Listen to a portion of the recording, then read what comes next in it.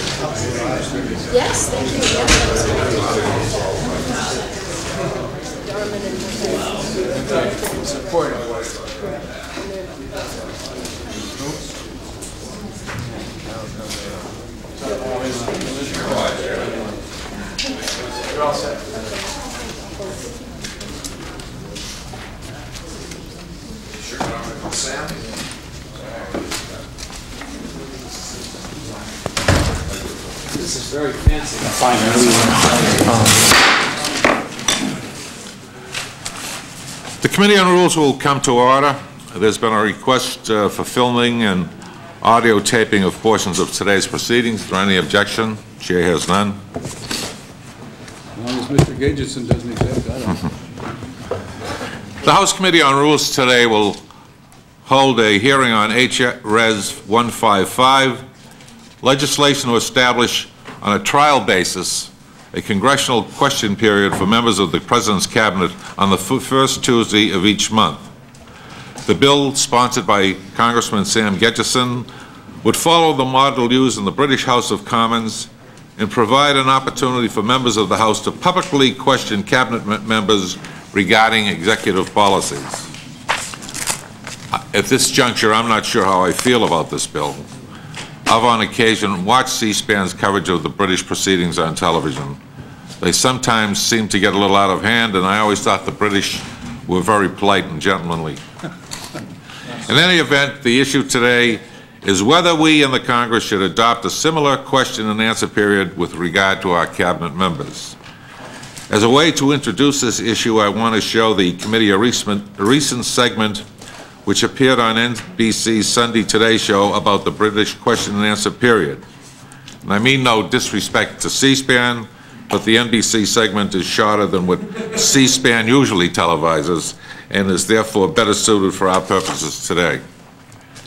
So if the gentleman would dim the lights and just get a slight segment of this.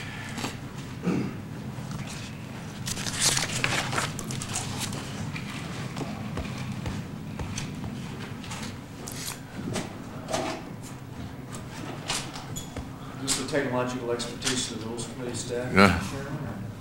There we are.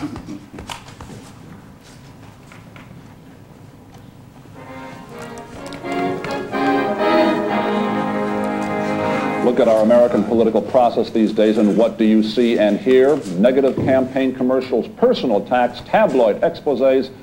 There must be a presidential campaign on, you say. Well, is there a better way? Many people point to the parliamentary system in Europe, particularly in Britain, as a model of reasoned, serious debate. And indeed, there is, yes, a lot to be said for the way they do it. For one thing, the election campaigns are short, just a few weeks long. Blessed relief. Still, politics there can be rough every day. And Simon Hoggart, a political columnist and former Washington correspondent for the London Observer, looks at their way and ours.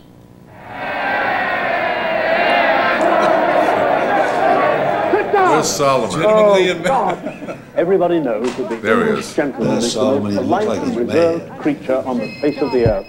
He would never insult another gentleman. The honourable member and I, I think, came into this house on the same day.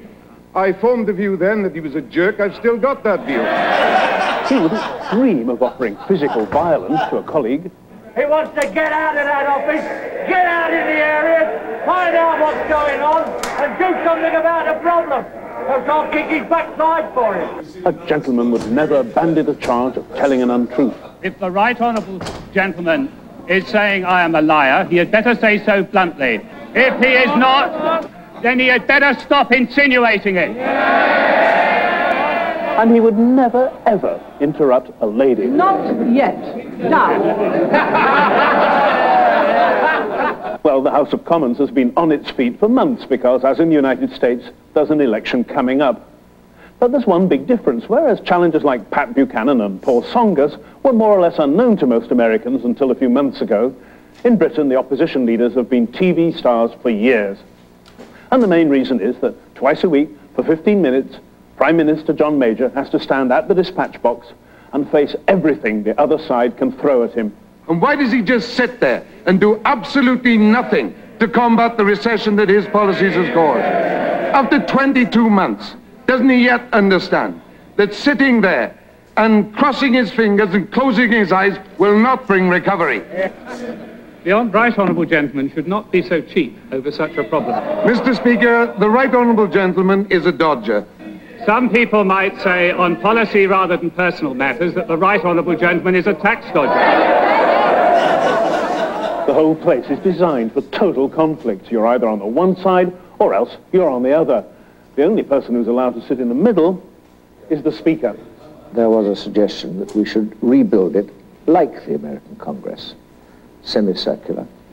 And it was stopped by Winston Churchill with the memorable phrase, we shape our buildings and thereafter they shape us. And the way this place is shaped means that some debates can make the average college football game seem like an old folks quilting bee.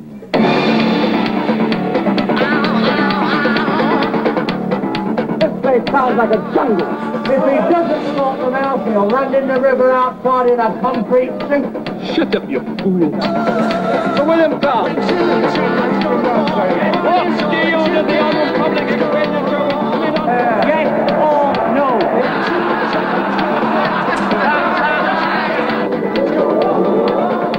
Bring him out. I think that's enough, really. So has the United States lost some of the cut and thrust still found in the forerunner of the US Congress. US Ambassador to Britain, Ray Seitz. At home, you don't really get that sense of uh, sort of legislative moment.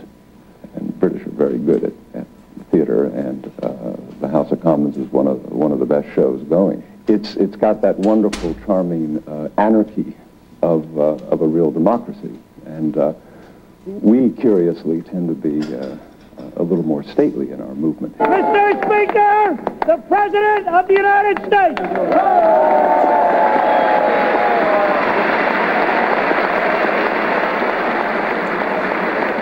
I wouldn't trade it at all. I count my blessings for the fact I don't have to go into that uh, pit that John Major stands in, nose to nose with the opposition, all yelling at each other. He and I have talked about that, incidentally. I think he does very, very well. But I think it's, uh, I think it's, that's for him, not for me. Two of the toughest performers at Prime Minister's Question Time are Norman Tebbit and Austin Mitchell. They keep the feud going on their cable TV show even while they're being made up. How do you think George Bush would stand up at, uh, if there was a President's Question Time here at the House of Commons? I think he'd be massacred. I think the weakness of the American system is that it can produce somebody as president who has had no experience in government or even leading his party. Here we find out about people during the time they're growing up through the party. We know whether they're any good by the time they get somewhere near the top of their party. It's got too concentrated on that. It's got too simplified just to that. Uh, and what used to be a genuine debate has just become a series of quick, sharp riposte uh, to the quick, stupid argument. Uh, uh, and when you simplify politics to that extent, you've gone too far. So whether or not it would suit the US, this confrontational style, this political arm wrestling, does have its admirers here. But is there anything which should be off limits to members of parliament? Sometimes I'm asked where I would draw the line. Uh, and I have to say, we can't ration freedom of speech. I mean, you've either got it or you haven't got it. It may not always sound like speech, but whatever you call the noise emitted here in the Mother of Parliaments, it's most certainly free. For Sunday Today, this is Simon Hoggart in London.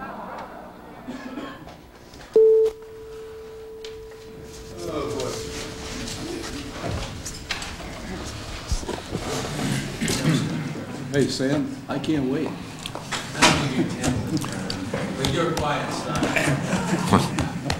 The, uh, the sponsor of the bill and the uh, person who will explain why this would be beneficial to the American system will be the Honorable Congressman Sam Gejdenson.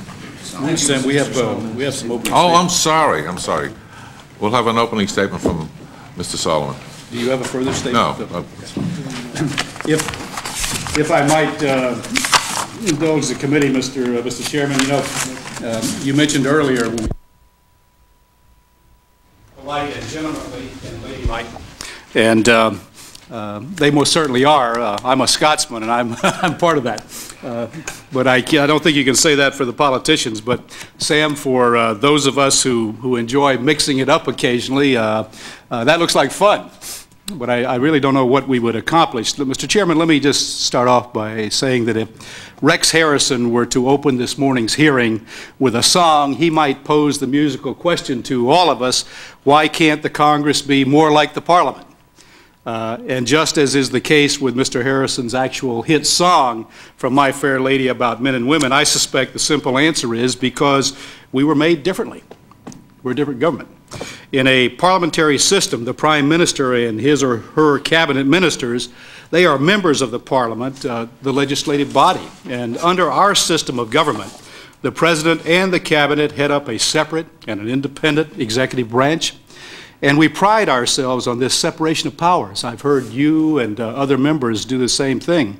Uh, as the primary check against concentrating too much authority in one place, and I think we always have to be, you know, concerned about that. The uh, proposal of the gentleman from Connecticut, my good friend, Mr. Gejdenson, would not alter this separation of powers in any fundamental respect. It simply mimics the parliamentary system we just uh, watched on TV by inviting cabinet members to appear before the House periodically to answer questions from uh, members of, uh, of that parliament. Nevertheless, I think this committee has a serious obligation to very carefully examine how this minor alteration, and it is a minor alteration, might affect both relations between the two great branches of, uh, of our government and the internal operations and processes of this House. In anticipation of this hearing, I wrote to, uh, to all of the ranking Republicans of uh, House standing and select committees, of which there are many, many, uh, for their views on this question period proposal. Uh, of the 11 who responded, only one expressed uh, outright support for it. And another member suggested that if we have a question period on alternating months, we should also call the Speaker and also the committee chairman to come before the Congress, and uh, let's have uh, a little bit. I think uh, if we're going to do this, uh, Sam, you might, uh, you might consider that, uh, because I think that's a, a thought worth mulling. The other eight expressed opposition for a variety of reasons, and they included opinions that, uh, and this is why I wanted to make my opening statement because they couldn't be here uh, to state some of their, their uh, opposition. Uh, for instance, cabinet members already spend an inordinate amount of time on the Hill before committees and subcommittees. And uh, that, I think, is why there was opposition from uh, Democrat uh, chairmen as well as ranking Republican members. It would be also more difficult to get them to appear before committees. Uh, committee oversight and legislative responsibilities would consequently be, be undermined, and a question period is really no substitute for the kind of in-depth questioning and information gathering committees can perform.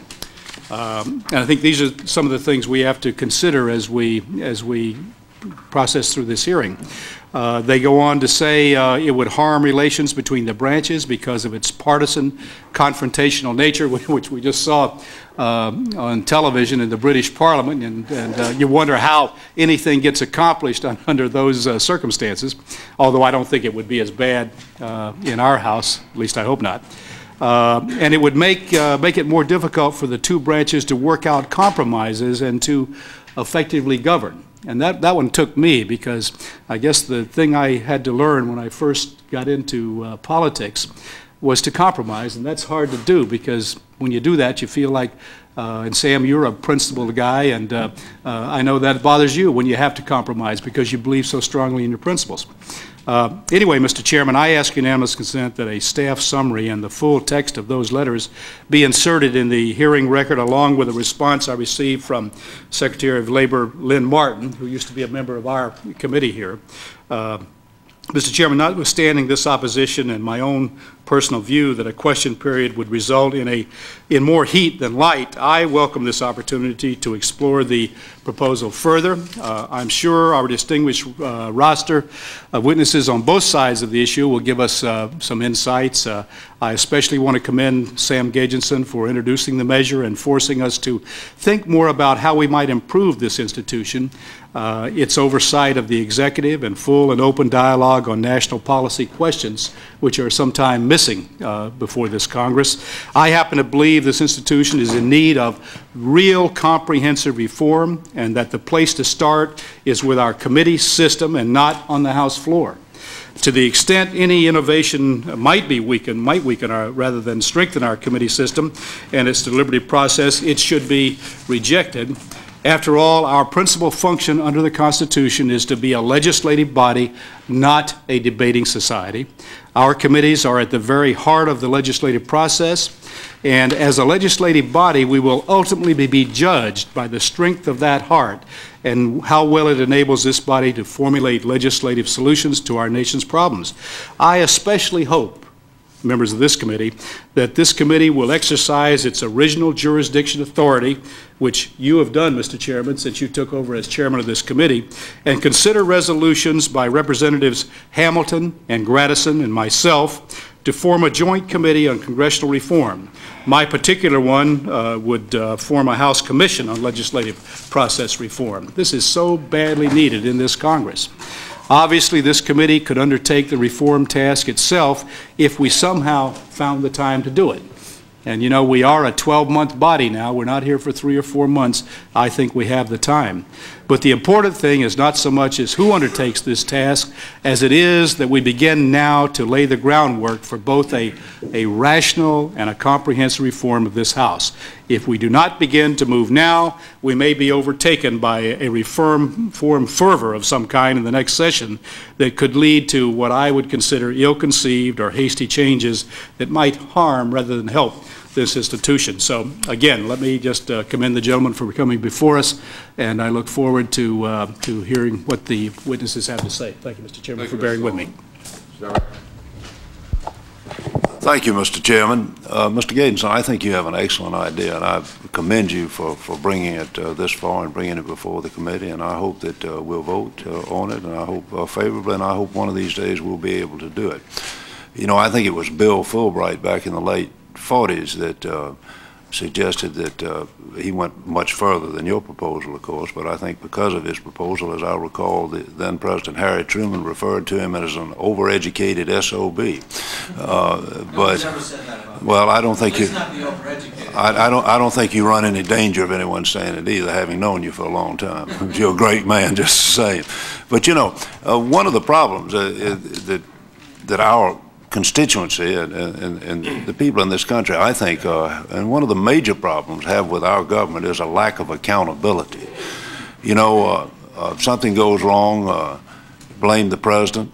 President blames the Congress. You blame the Congress. The Congress blames the uh, the administration or blames the president. And uh, if they can't think of anything else, then they blame the bureaucrats. So if you can't do that, we blame the Japanese, and it goes uh, goes on and on.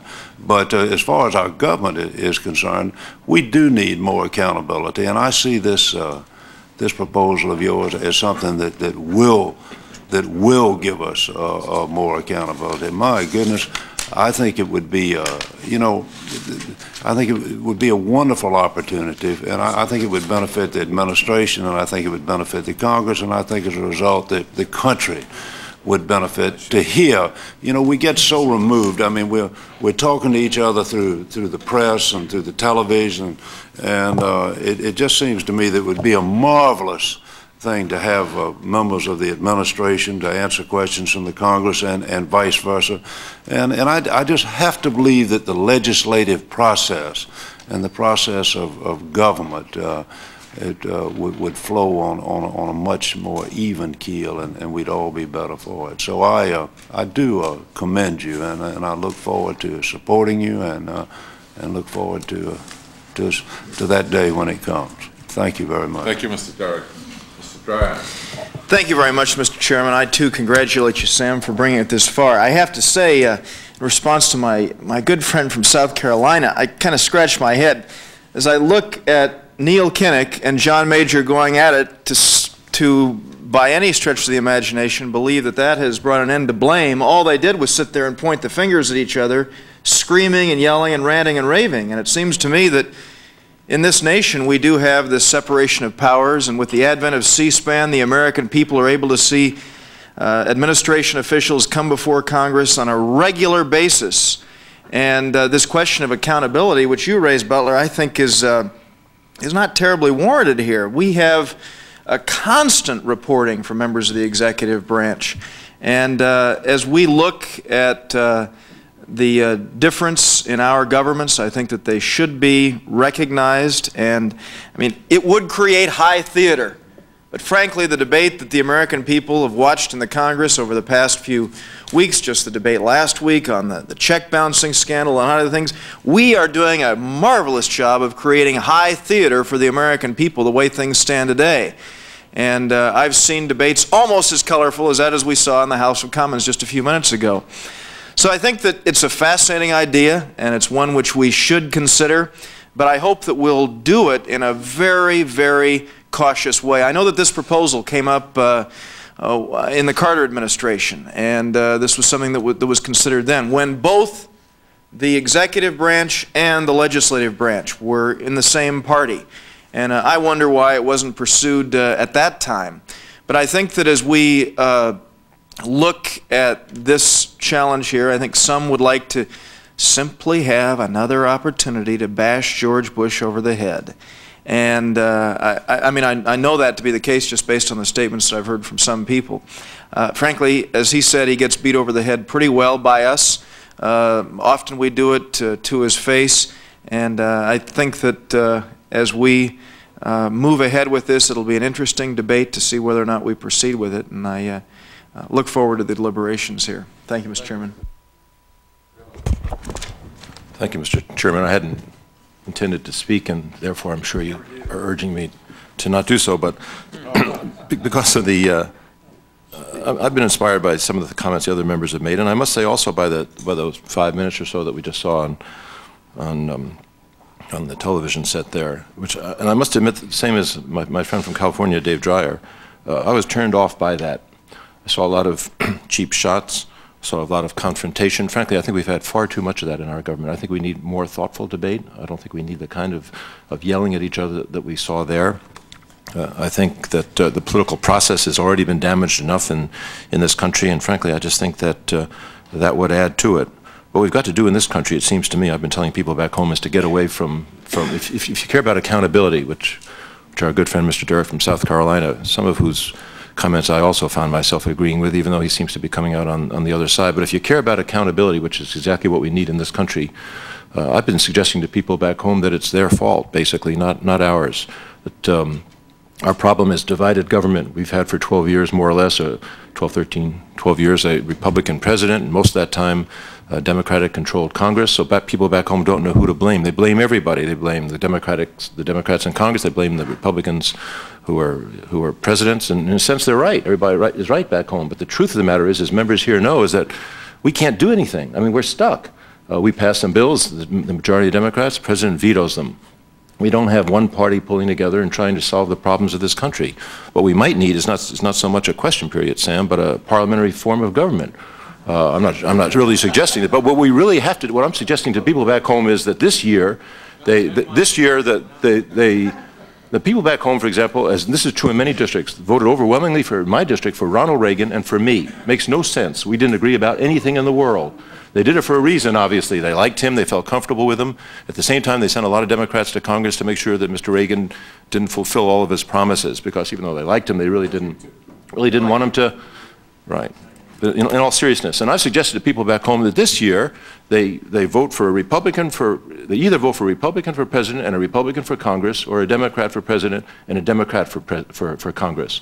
And make one party for four years responsible, give them, you know, give them the power to run the country. If they do a bad job, throw them out and elect the other party four years from now. That's, that, I think, is what we've got to come to.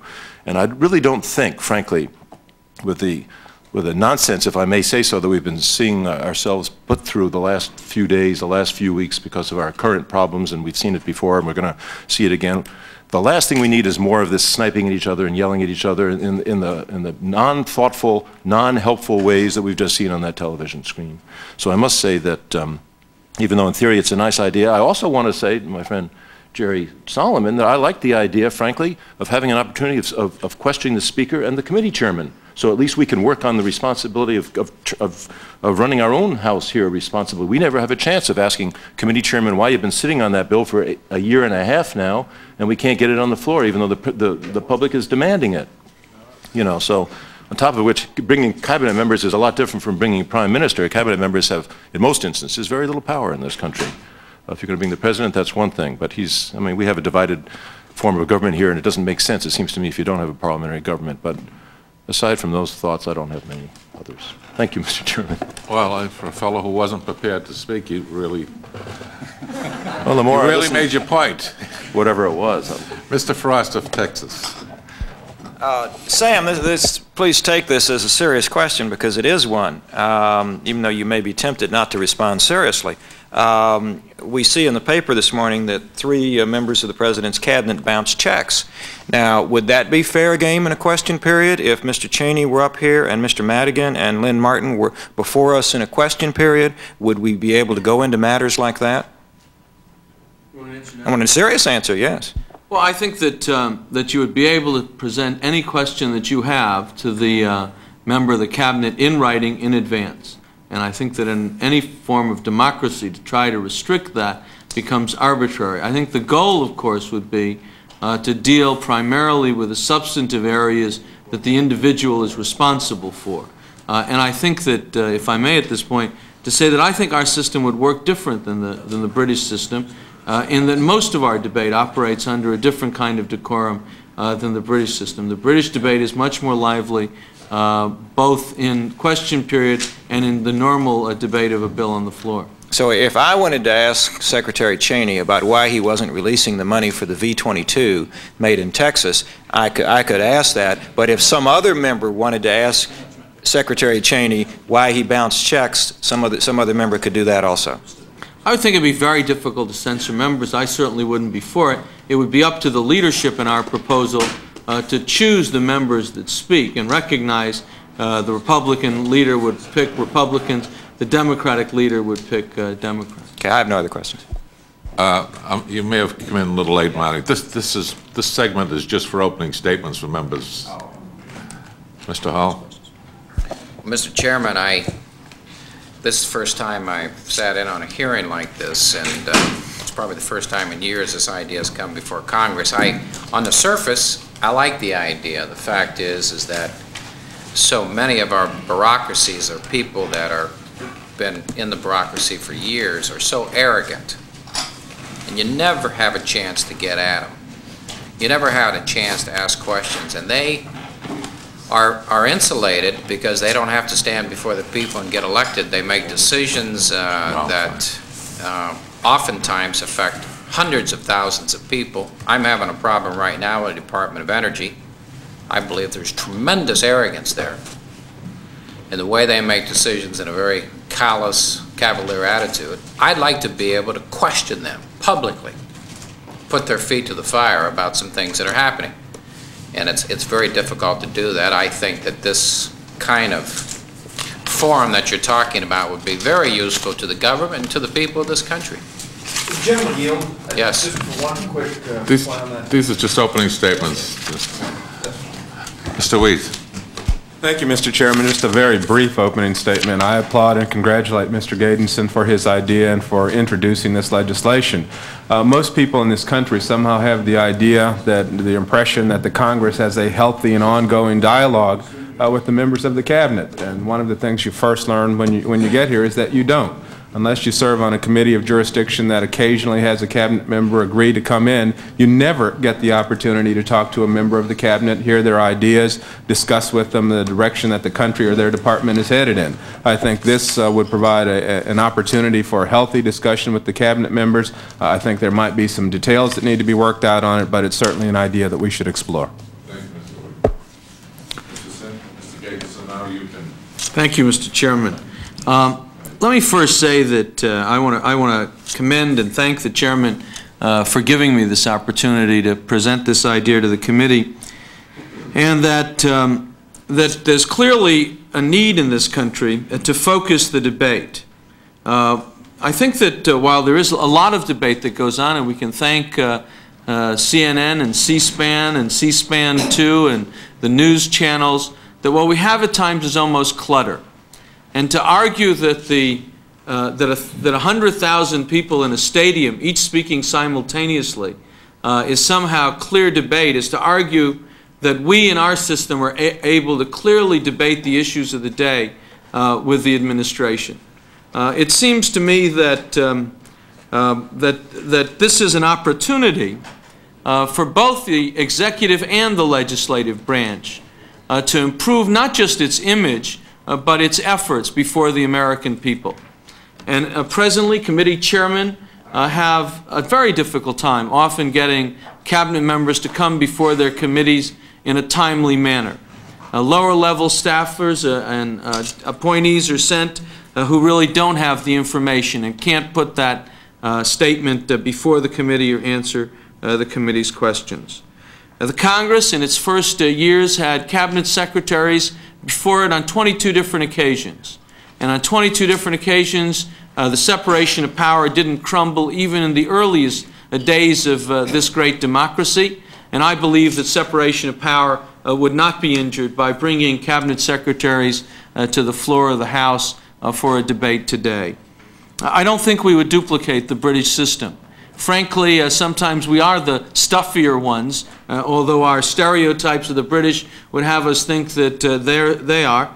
Uh, but uh, what we need in this country is to be able to have the American people uh, see the administration, Democrat or Republican, and see the Congress in its divided form debate the major issues of the day. Health care shouldn't be a series of press statements from the Democrats and a series of press statements from the Republicans. Secretary Sullivan shouldn't make his utterances in isolation of the Congress, in a sense, and the Congress shouldn't make theirs in isolation. A direct contact to the two would give the American people a better understanding of what the choices are, and I believe that debate would lead to better policy in this country.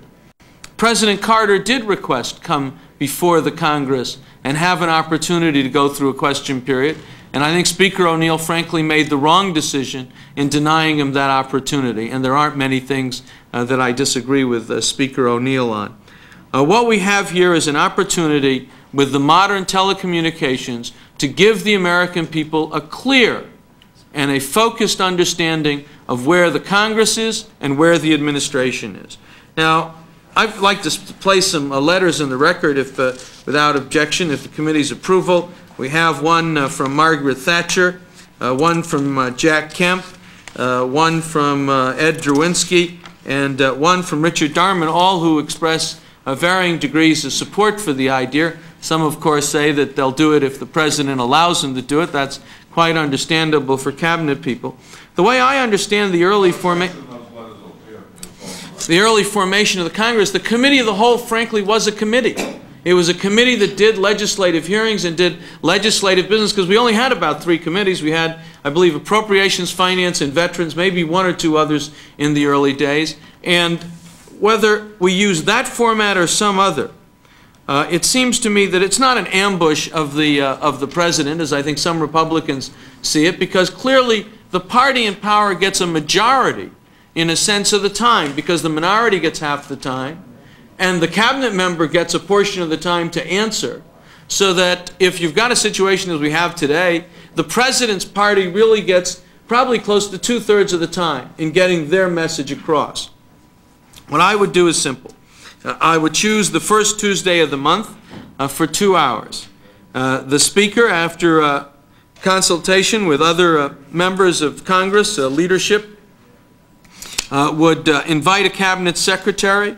The questions would have to be submitted to the cabinet secretary seven days in advance. Because what we're not looking is to surprise him with that trick question, how many employees do you have in you know, the embassy in a certain country uh, or what have you. What we're really trying to do is get policy understanding, and we want them to have these questions in advance. People would be allowed a follow-up question.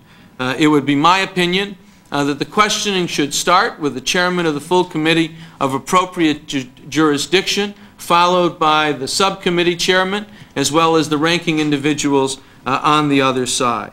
Uh, the questioning would alternate from uh, Republicans to Democrat with follow-up questions allowed. no committee business should be allowed during those two hours of the month, so the Congress as a whole would participate in this opportunity for a discussion. And uh, if members are weary of it, uh, then what I would suggest is try it on a, a trial basis. Uh, do it for a year uh, to see how it develops. Don't make it a permanent uh, part of the rules. Uh, but what we have today is, and I, I want to cut this short so I can answer questions, is that we have more heat than light because at the same time the Secretary of State is testifying on the House side, the Secretary of Defense is on the Senate side, the Secretary of Health, Education, or Welfare or someplace else, and there's so much going on that it's difficult to get a focus on an issue of national importance. And whether it be the war that is about to start with Iraq at some point in history, or health care, or unemployment, or taxes, it seems to me to make sense to have a focused discussion in the well of the House with the administration about the proposed tax bill uh, that will be coming to the floor uh, or other pieces of legislation that affect the good of the nation.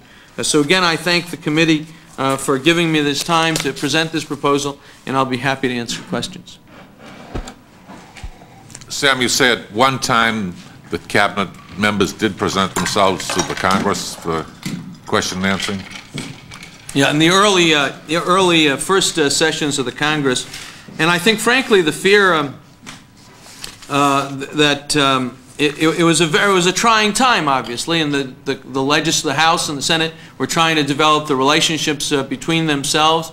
I'm always um, amused by the uh, the early story of the Senate proposed that in communications with the House, the House should send to the Senate an elected leader of the House, either the Speaker or the Majority Leader, to carry the message to the Senate. But that when the Senate would communicate with the House, they would simply send a paid staffer uh, to send their messages to the House. So there clearly was a period of trying to get people's feet on the ground and get established and try to figure out how this great democracy works.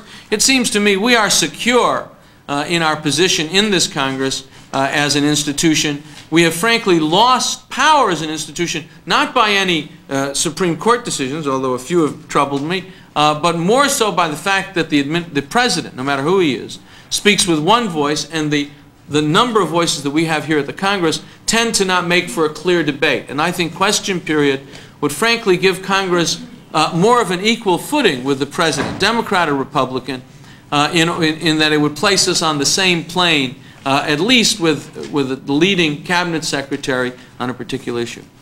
And the cabinet member who's invited to participate with the Congress would have in advance written questions? Yes. And there'd be no straying from that? Uh, the follow-up questions obviously would give an individual some leeway. Would they have, they'd have to be germane to the regular I, question? My, my feeling was they should be germane to either the question or the answer that the secretary gave. And again, the purpose here isn't to embarrass the, the secretary uh, by asking uh, uh, him or her a, a, question that they're not prepared for. We want them to be prepared because what we want is the answer. And these are just on policy matters? My focus would be on policy matters. I think that you'd have to give the majority leader and the minority leader of each party the right to choose members and a question submitted uh, that they'd have the opportunity to, to reach almost any range. I mean, I think it's difficult to say that you're going to start putting, uh, as I think Mr. Frost's question indicated, some kind of uh, wall around what the questions could be. And would the communique to this cabinet person uh, name the person who he would be facing uh, as a questionnaire? Well, in my opinion, there'd be no advantage or no reason uh, to, uh, or, or disadvantage to include the name of the individual that sent the question. Again, it might give the cabinet secretary a better understanding of, you know, if, if, if, if someone's asking about a particular uh, program that exists in their district, it obviously gives a different focus sometimes.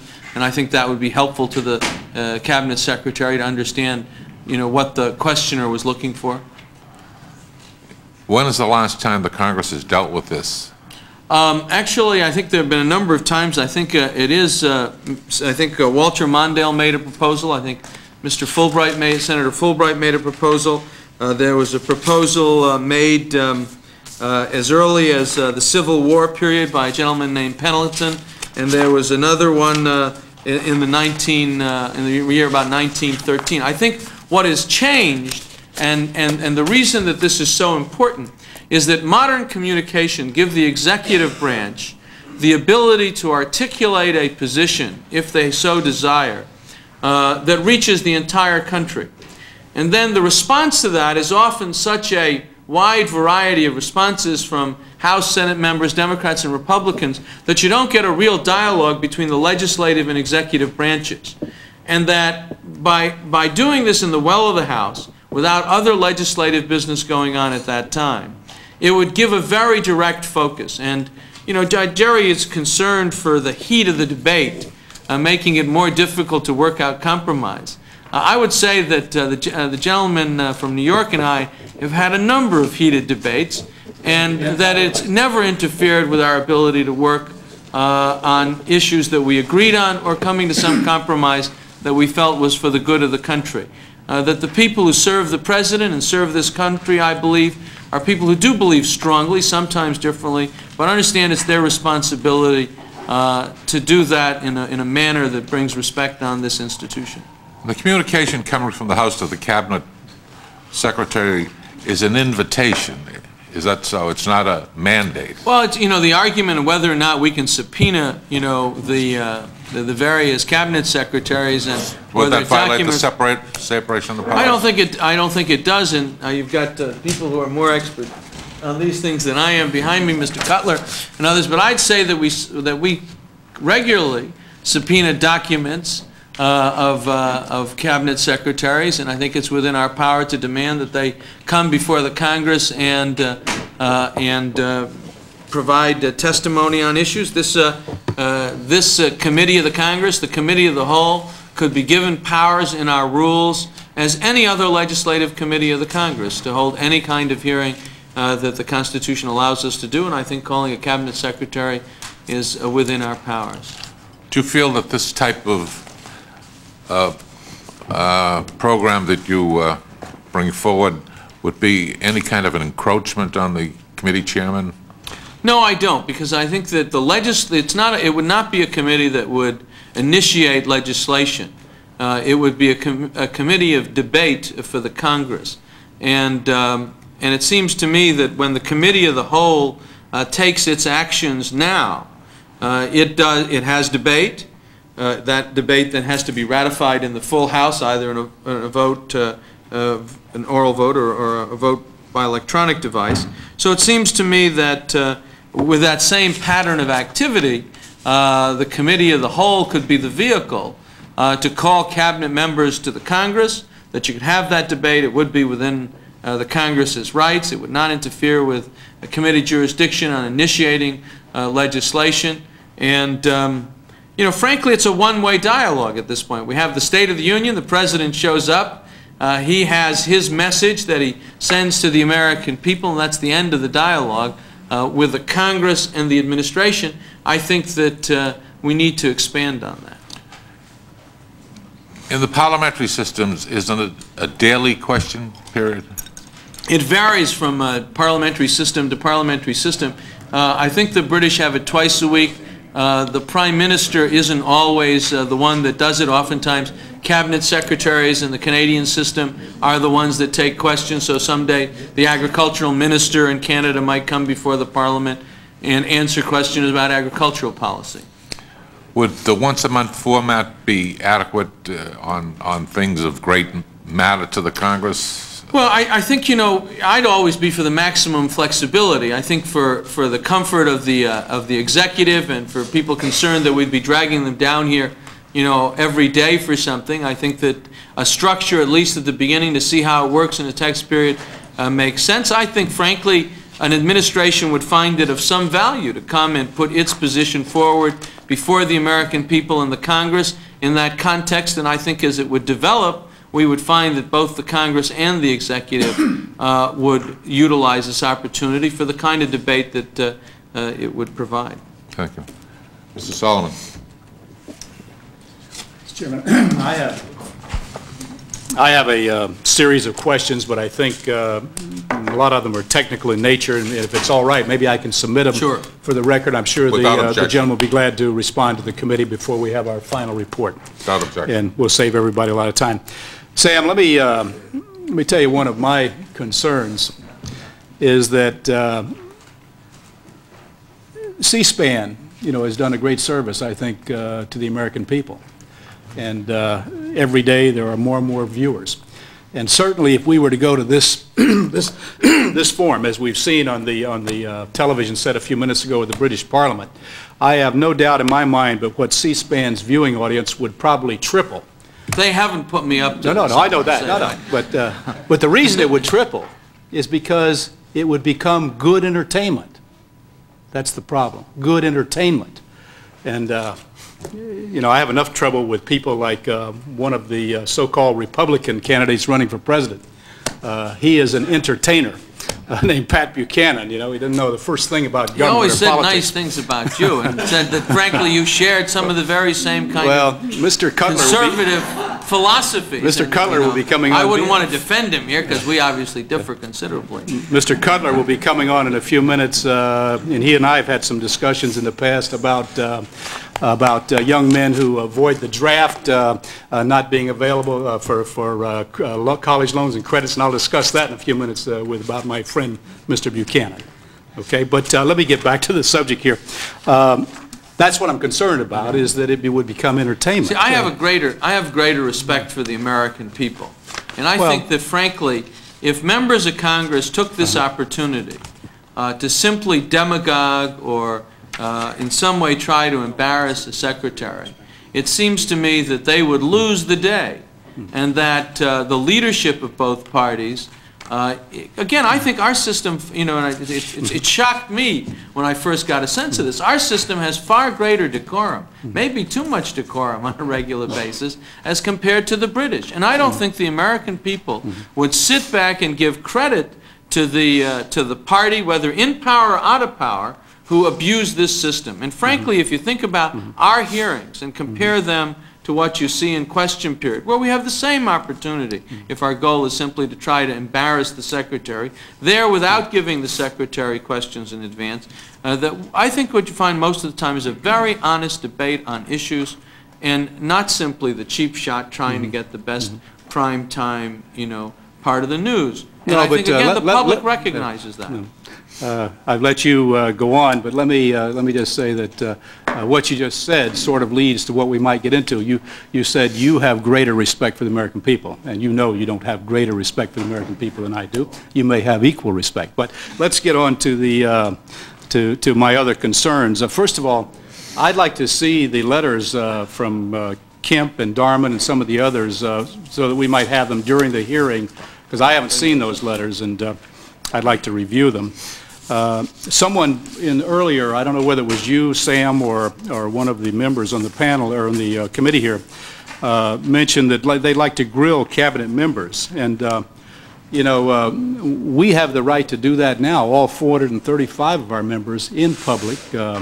I see my friend Dante Fascell over there, who I had the privilege of serving on his, his committee for many, many years. And even though I'm not on that committee anymore, Uh, I can go before the Veterans Affairs Committee, the uh, Foreign Affairs Committee, and uh, those uh, chairmen have uh, great respect for the members, and they will either let us testify uh, before and during their hearings, or they'll let us participate in grilling those cabinet members. So, you know, we still have, um, we, we still have that right. Finally, you know, I know you're very sincere in what you're what you're offering here, and they're uh, and it's worth mulling. It certainly is. But I, again, uh, Lee Hamilton is one of the most respected members of this House, and Bill Gradison, and uh, he, the, those two, and myself and others have legislation that would uh, set up task forces to really look at our system, not just this question and answer problem. We have such a terrible problem now. We have so many committees and subcommittees and select committees and joint committees. We are committed to death. And members don't even have time to serve on all of these subcommittees. Drugs is such a terrible problem today. And yet, anyone who has drug legislation, and I've sponsored drug legislation for years now uh, on, to, on various issues dealing with drugs, and all of my legislation gets sequentially referred to something like 47 subcommittees. And there's no way that that legislation is ever going to become law. So you know, uh, I, I, respect, just a minute, I respect your coming to the committee and, uh, and uh, pushing this issue uh, because it's worth considering and we ought to, we ought to debate it. Uh, but again, you, respected members like you who are interested in reforming the House, really ought to get behind uh, Mr. Hamilton and others and let's see if we can't do something about really trying to make this system work and, and be more responsive to the American people that you and I have great respect for. The, um, yes. I think that, um, one, I'm supportive of what Mr. Hamilton is doing, uh, but I'd say that uh, the argument is then the, uh, the perfect is the enemy of the good, that uh, if we sit here and wait for the perfect reform, for the ultimate improvement on the legislative system, then we'll make none of the smaller improvements that will make the process better. And I think this is something that will not greatly disrupt the world. It won't change the balance of power in the Congress, but I think it will to a far better degree give the public an opportunity to understand what the executive stands for, what the minority in the Congress stands for, and what the uh, majority in the Congress stands for. I thank the gentleman for his time. Thank you, Mr. Solomon. Mr. Derrick. Thank you, Mr. Chairman. Mr. Gejdenson, as I understand, you uh, propose to do this once a month.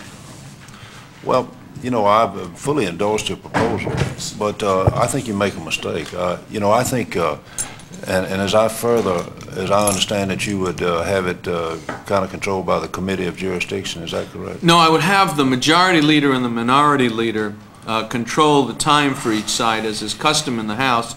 I would have the first two questions on each side given to the chairman of jurisdiction and then the subcommittee chairman of jurisdiction out of deference for the work they do in these areas. And then the remainder of the time would be uh, according to the minority leader and, minor and majority leader's uh, uh, decision is how it's distributed. Well, let, let me suggest to you that I think you're making possibly two uh, wrong turns on this thing.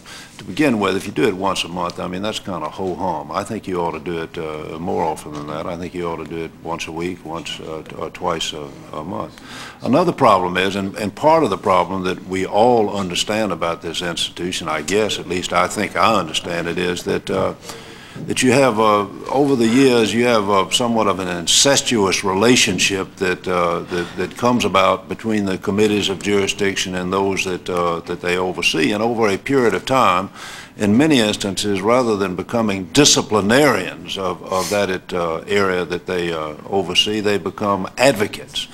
And uh, I think that if you were going to turn this over to uh, to the various committee, I think you, you might as well forget about it and just go ahead and let the uh, various uh, committee chairmen appear before the uh, uh, the committees as they do now. now I wouldn't let them monopolize the time. Clearly, I, I, just think that a chairman who's done the work in an area ought not be simply discarded in the process. Well, I, but, I wouldn't. But, but, but I don't think they ought to be discarded. But I still, at the same time, they have their own avenues uh, to, uh, I mean, you know, Mr. Hall is not here right at the moment, but uh, as, as, he uh, uh, suggested that he's having a hard time getting answers out of uh, out of one of the administrative committees. So I, I, think you would make a, a very you, you would make a mistake on that. I think you- that I would suggest that you have them more often and that you not, you know, I think another one of the problems is we have things around here in so many instances that are too well structured.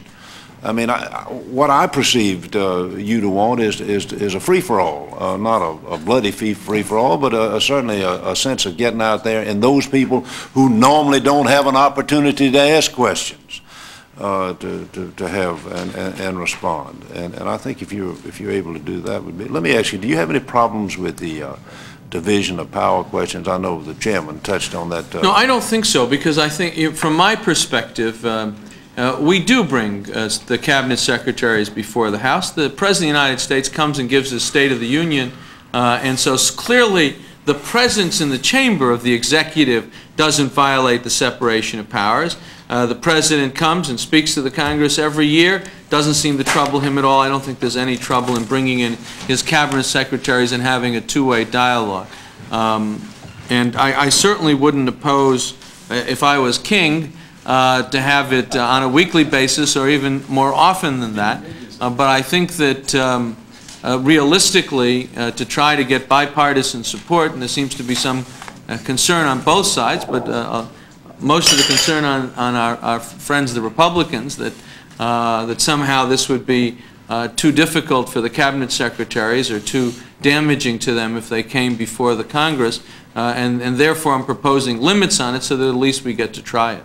A philosopher king, not just a king. Yes, no, of course. We wouldn't want to be kind of thoughtless. Uh, uh, Yeah, sorry, no. philosopher. Well- Uh, And and the, uh, uh, you- maybe, maybe this has been covered, but do you, would you anticipate the President of the United States uh, uh, coming down here and and being subject to to questions? Uh, Not in this proposal. Uh, I personally wouldn't be uh, against inviting the President uh, before the Congress and having him in this kind of exchange, and I think, again, that President uh, Carter uh, made what was a good offer, and I wish Tippett accepted it.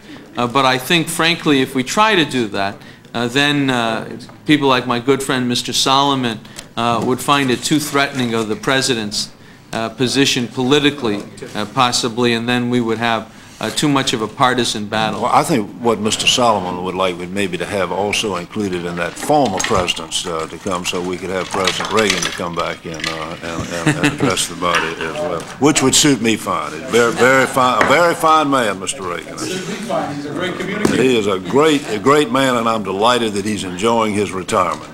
Uh, But, uh, okay, uh, tell me once again how you think, that- do do you think this would really uh, serve the public interest, or you just think it would? I think it would, I mean, and, you know, you uh, it was mentioned something about entertainment value, you know, um, you know, politics does have an entertainment value, and and that is, uh, is not, not to be overlooked. No, I think it would, and I'll tell you why. What happens is, um, good, decent people that want to know about their government and don't have the kind of unlimited time to watch all the different committee hearings and all the different things that are on C-SPAN and CNN and all those other good, you know, uh, electronic methods of, uh, of transmitting information would get a focus. And I think that the, the natural course of things would be that the leadership would choose an issue uh, that had some pertinence of the day. And so to see the Secretary of Defense or the Secretary of State uh, as the Soviet Union was disintegrating in the well of the House articulating American uh, policy in one focused event would be important. Uh, several months ago, a number of us held town meetings on health care.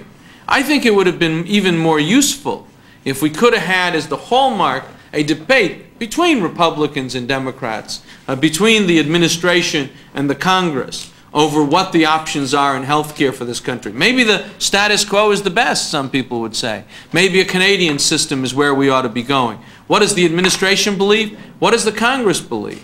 And I think it'd be helpful to get those things Well, out you in know, a let- focused kind of. Let let me end but- but by just saying this, that I thought one of the, uh, the high points uh, in the- the relationship between the um, uh, administration uh, and the Congress came during the Desert Storm. And and when uh, we, uh, as members of Congress, uh, the the Secretary of Defense and the uh, Chairman of the Joint Chiefs of Staff Came and to others came down uh, here and, and we had an opportunity, not on any sort of structured basis with committee chairman, it was kind of first come, first. And, you know, I, I guess I probably felt closer to the administration and closer in, in the, in the fact that we were working towards a common goal uh, then than, uh, than just about any other time. And, and, you know, if it would bring about something like this, I think it would be very positive. And I thank you for, for bringing it before us. Thank you. Sam, you've alluded uh, uh, to the situation where uh, President Carter asked him to, to address the House and tips, uh, turn him down. Was that in a formal? No, I- it was not formal. Uh, It was more of a back channel uh, kind of uh, offer. Well, it was a formal offer in a sense that Carter, uh, speaking to a member of uh, of Congress, offered to come here. The offer was brought to uh, the Speaker. I think the Speaker thought uh, it unwise at the time. Mr. Chairman, would you yield? No. Just uh, for the record, you know, I've, uh, I've been following this thing for years, and uh, one of our witnesses that will testify later from the Brookings Institute, Mr. James Sundquist, wrote in his Decline of Resurgence of Congress that uh, both President Carter and Vice President Mondale endorsed the proposal for a question period. Uh, There is no record of their having reiterated their view after their inauguration, and I have heard of no such thing. Uh, I don't think Tip O'Neill was ever offered that, uh, really. I Well, you mean, you uh, can check with Tip. My understanding I is will. that that it was offered.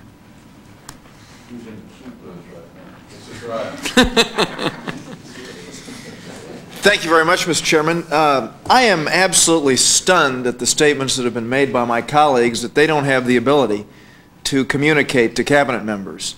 Uh, we have the distinguished chairman of the Foreign Affairs Committee, Mr. Fascell, here, and I know that if uh, Jim Baker testifies before his committee, I know that if a member of another committee has an issue which uh, he or she desperately wants to raise with the Secretary of State, that the very fair chairman of the committee would allow that member to come and at the end of the questioning from other committee members would have the opportunity to raise that issue.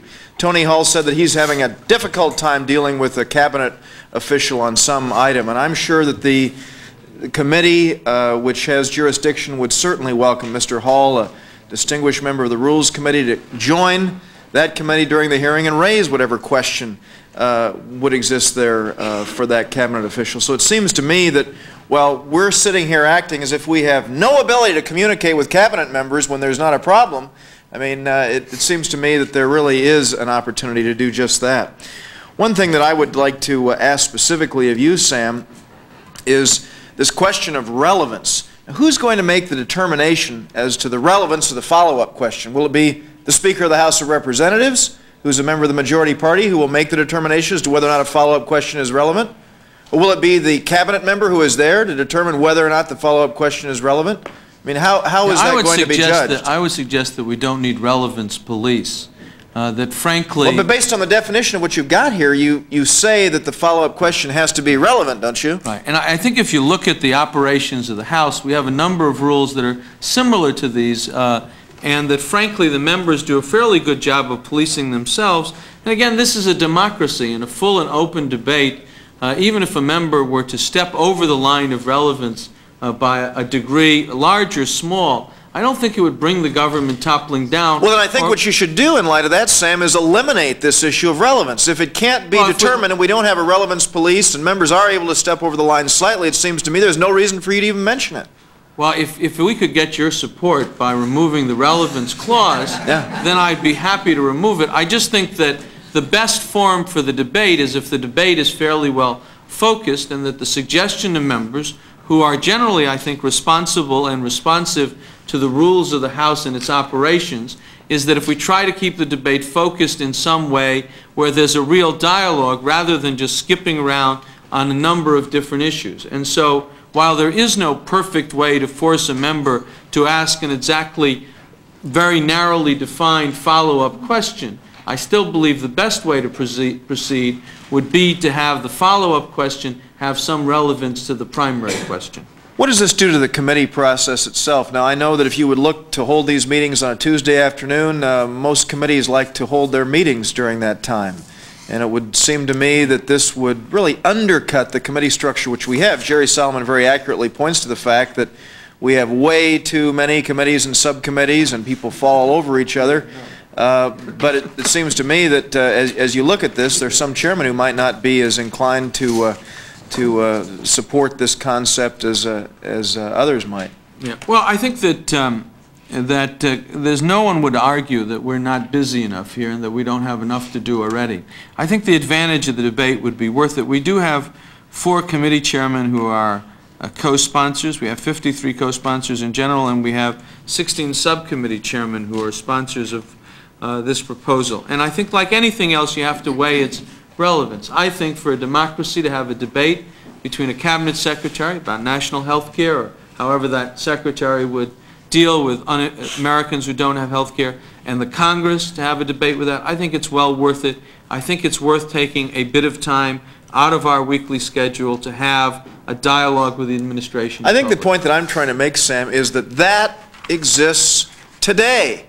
I mean, and, and, and, and one could infer from what you're saying is that there's no dialogue between members No, of the executive that- branch and the Congress. I think you have to look at the, the entire statement, not just simply one part of my statement. And I think what I've said uh, a number of times is that what, what this would give us is a focus, and that, and maybe you're out of the room when I said this, that presently what happens is with so many cabinet secretaries in so many different places, with so many hearings on so many different issues, it's hard for the public sometimes to get a focus on what, you know, is a singularly important issue in that sense, and uh, that this would give us an opportunity to do that.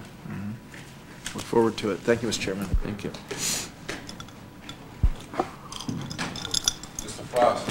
Um, Sam, I'd like to follow up on something that Butler raised. Um, The question about uh, how you make sure that uh, the real controversies get aired, uh, specifically when you have a committee that uh, has a very cozy relationship or is, is, is in sync with the cabinet secretary. For example, uh, Veterans Committee, uh, Secretary of Veterans Affairs. Uh, There are some members in, on that committee and some members in Congress who feel very strongly on the Agent Orange issue. However, that I don't believe that the the uh, chairman and the ranking member of the Veterans Committee feel strongly on that issue and would be more in sync with the uh, way the uh, Veterans Affairs uh, Department would conduct uh, its activities in that area. How do you really make sure that there is enough time and that the true controversies where you have strong feelings in the House actually get aired? Well, that's why I don't, I don't give, as we do on the House floor when there's a debate, uh, primacy to committee members for the entire process. I would only provide uh, for the chairman and the subcommittee chairman uh, that opportunity. After that, I would hope that we would uh, go throughout the House, and with frankly, uh, Butler and your point well taken, that we reach members who may not have a daily opportunity uh, to deal with these committee chairs. And, and what do you do where there are several committees of jurisdiction? Uh, we, this is not a neatly structured place, No, as you know, in terms of the way it relates to the executive branch. Specifically, uh, Mr. Fascell is going to be here in a minute. What, what do you what do you do on an issue like the loan guarantees for Israel, where you have the Foreign Affairs and the committee, and you have the Foreign Ops Committee of the Subcommittee of Appropriations. Uh, uh, Do they both get their shot? Uh, And what do you do on energy issues where you may have a couple of committees? You may have Interior involved, and you may have uh, Energy and Commerce involved. Some some things don't break down I wouldn't give, uh, I wouldn't give uh, any more than uh, two individuals uh, and and the, the opportunity to naturally go at the beginning of the process. And that would, we'd have to make some choices. But I think there is a danger uh, that if you start doing every committee with some jurisdiction, that the rank and file members wouldn't have an opportunity. And I think by choosing two individuals, and uh, that what you would have is, you would give those who have done the work, you know, usually there's a couple of people on each side that have led an effort. And I don't think there's anything wrong with the speaker or the majority leader controlling the time, uh, gi- giving some respect for that effort that's been done so that uh, if a chairman's worked on uh, veterans issues for, for decades, there's nothing wrong with giving him the first uh, question. But after that, I agree with you that we want to get beyond the normal structure, and I would hope that we would. And if in, in writing the bill and amendments, that, that, that would uh, make a lot of sense. I know that uh, uh, a few years ago, actually, right before Jerry Solomon and I came to Congress, I think in 77, we came here in 78, it was a major piece of energy legislation, and you had to create a special committee uh, to bridge to bridge all the uh, different jurisdictional questions, and it got very complicated because so many people had a piece of that pie. Yeah, I think that's, that is a general problem in the House, and I think whether it's in conference committees where you end up with, uh, you know, a dozen different committees being, I think that's something clearly we need to deal with. I don't think that uh, you'd want to have that much representation in the opening uh, part of this process. I think, I think, again, the majority leader uh, ta- choosing two that have the, the major effort in these areas of expertise would be adequate, and then after that, I'd hope that they would go, frankly, in, in many instances, to the least senior individuals, to those people uh, that get the least opportunity for an exchange in these areas. I have no other questions. Thank you. Thank you, Mr. Chairman, and, and uh, Sam, I am very much supportive of the concept and the idea that you're suggesting here. Uh, just would uh, have difficulty with how we get from A to B. In a parliamentary system, you pose questions to members of parliament. It's highly appropriate that a parliamentarian would answer a fellow parliamentarian. Uh, it's not un, un, improper that a member of Congress should respond to a member of Congress. If an independently elected executive then comes and sits in the parliament or sits in the Congress and responds, that, that's a quantum leap forward. So rather than go that far, let's just back up a bit. We in this country were the leaders in general aviation, producing small aircraft. We now don't do that anymore. The reason for that is that there is a products liability reform that has been languishing for over a decade in the Judiciary Committee rather than go to after the president, would it not be good if the members of Congress had the right to quote, pose questions to the members of Congress who are refusing to allow legislation to move that is of interest to the nation? We could go on with individual retirement accounts and Ways and Means with over 300 and some co-sponsors. Uh, I could go on at length, but uh, I'd, I'd, like your insights as to if we took this a step at a time. Yeah, I think that um, that, uh, as Mr. Dreier pointed out earlier, uh, there's more than ample opportunity for us, either on the floor when members uh, are in debate on substantive matters. Uh, we have the right to offer amendments, uh, uh, oftentimes with germaneness as obviously a control. so there is, frankly, ample opportunity for a member of Congress to address the chairman of any committee, including the Rules Committee when he brings out a rule, uh, on almost any issue. I think additionally, what we're trying to bridge here, and I, am I'm, I'm uh, as I indicated to Mr. Solomon earlier, supportive of the efforts, uh, frankly, that Mr. Hamilton and others are having trying to reform the, uh, the process that we work under. I came from a legislative body that had uh, joint committees, that the House and Senate uh, sat together in committees, and I think that, frankly, was a far significant way, uh, far more significant and better way for a legislative body to uh, do its work. This is a separate I'm issue. Sure, I made myself right. clear. My, yeah, my, this my, is my point is, would it not be good to have question time to those leaders of the Congress that are that are yeah. accountable at this point before we then go to their to right. their cabinet? Let me levels? say two things. One is that we have that opportunity now in a very direct way. That every chairman of the committee in a short course of time around here ends up on the floor taking a bill out, and you can ask him directly on the floor, on the record, almost any question uh, in that kind of format. But my focus, my focus here is the relationship between the executive and the legislative branches. That's not to say that there aren't improvements we could make in how the legislative branch works. And, and I frankly would be supportive of a number of those changes, as I've indicated. Mr. Hamilton is looking at a number of changes within the legislative branch in the relationship between the Senate and the House. But I think it would be a mistake to put this off until we've made every possible and good reform of the Congress, where this opportunity gives us a chance to. The, the executive really has almost two thirds uh, of the Congress in its hand. As the you know, the president vetoes a bill, two-thirds of Congress minus one is irrelevant. And so I think for the American people to understand that and to, and to see where the executive has power, that that's what question period does. The issue that you raise is something that if I were you, I would bring to Mr. Hamilton as he looks to do a general internal reform of the Congress. Okay, I, appreciate your response, and perhaps there's no other answer to it.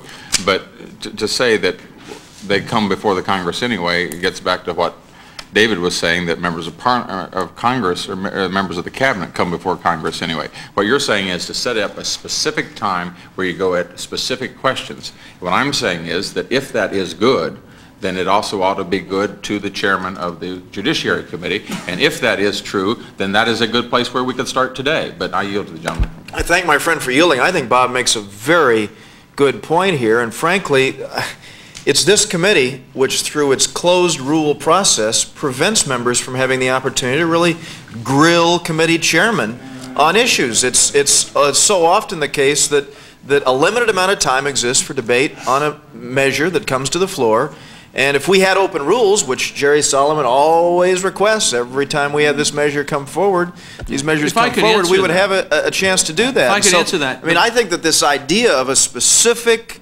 committee chairman standing there to take questions on a public policy issue would be a very balanced way for us to begin this process. If I can just uh, defend the chairman of the Rules Committee, who doesn't need... Oh, he doesn't need defending, and I'm Yeah, not attacking the chairman of the Rules The- Committee. You don't, you don't, please don't defend Joe Moakley from me, okay? Let me just say that if, if those who have watched the Senate, in my opinion, uh, that have the best understanding of how the Senate often doesn't work, uh, their suggestion is that maybe they uh, get Joe Moakley over there and have a Rules Committee. Because frankly, uh, one of the problems that happens in full and fair debate, and the reason that I have a limit on question period, not that it should go on for 10 or 20 or 30 hours, is that sometimes you just stop the process by, by extending the debate to an irrational end. Now, I think that certainly there are lots of times that I've wanted more time.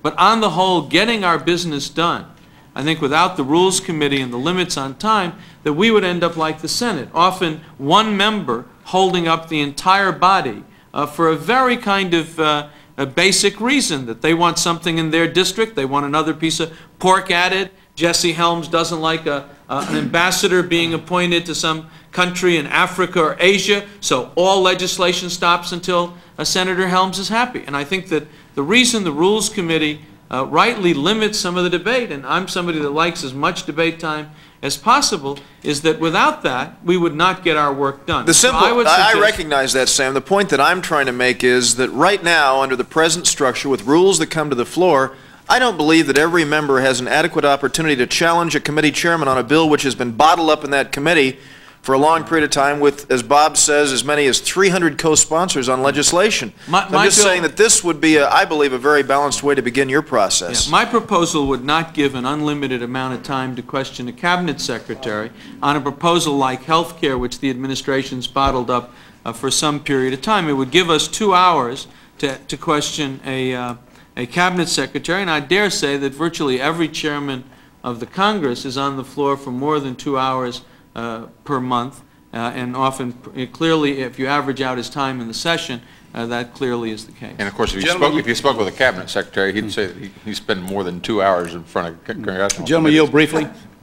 Yeah, Sure. I- The gentleman wasn't here when, uh, in- when I made my opening remarks, but I had suggested that uh, remarks Mr. Gejdenson uh, expand his legislation to, uh, to include uh, our ability to, uh, to talk to uh, chairman of committees on the floor. And one great example of that, and uh, uh, my friend from California alluded to it a minute ago, is um, the legislation which removes the earning caps on Social Security. That bill has overwhelming support on the floor of the Congress, and yet it cannot be moved out of committee. You know what might And I'd like to provide more ask somebody on the floor, gentlemen, wait Go now, ahead, go ahead. this is not the par- British Parliament. Yes, We- yes. We have ahead. rules here. Yeah, yeah, At least so far. Here, here. Uh, The other thing I'd just like to make a point of is that somebody on the panel here a minute ago, uh, I think was critical, I don't know how critical they meant to be, of uh, Sonny Montgomery, the chairman of the, uh, of the Veterans Affairs Committee, and Bob Stump, the ranking minority member. And uh, I served on that committee for many years, and I can tell you uh, that both of them, in spite of what was said, have great concern for the Agent Orange issue. They have both moved legislation on the issue. Uh, It's a, it's a a real concern, and, uh, and Sonny Montgomery ought to be credited for, for what he does for veterans of this nation, so should Bob Stump. If I may Thank the gentleman. close, because I don't want to take up, uh, the- and I'd be happy to answer more questions, time of other witnesses. It seems to me two things. Uh, that no one has ever argued that the separation of powers or the President is somehow injured when the President invites committee chairmen to the White House and has a discussion with them on legislation on the President's ground.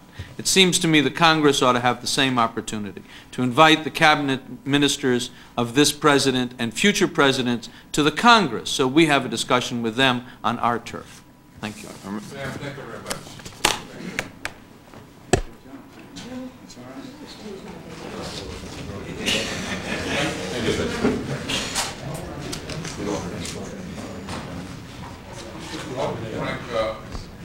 Republicans, Democrats.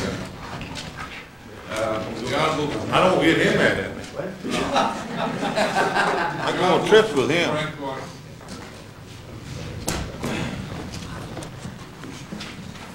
Uh, Thank you, Mr. Chairman.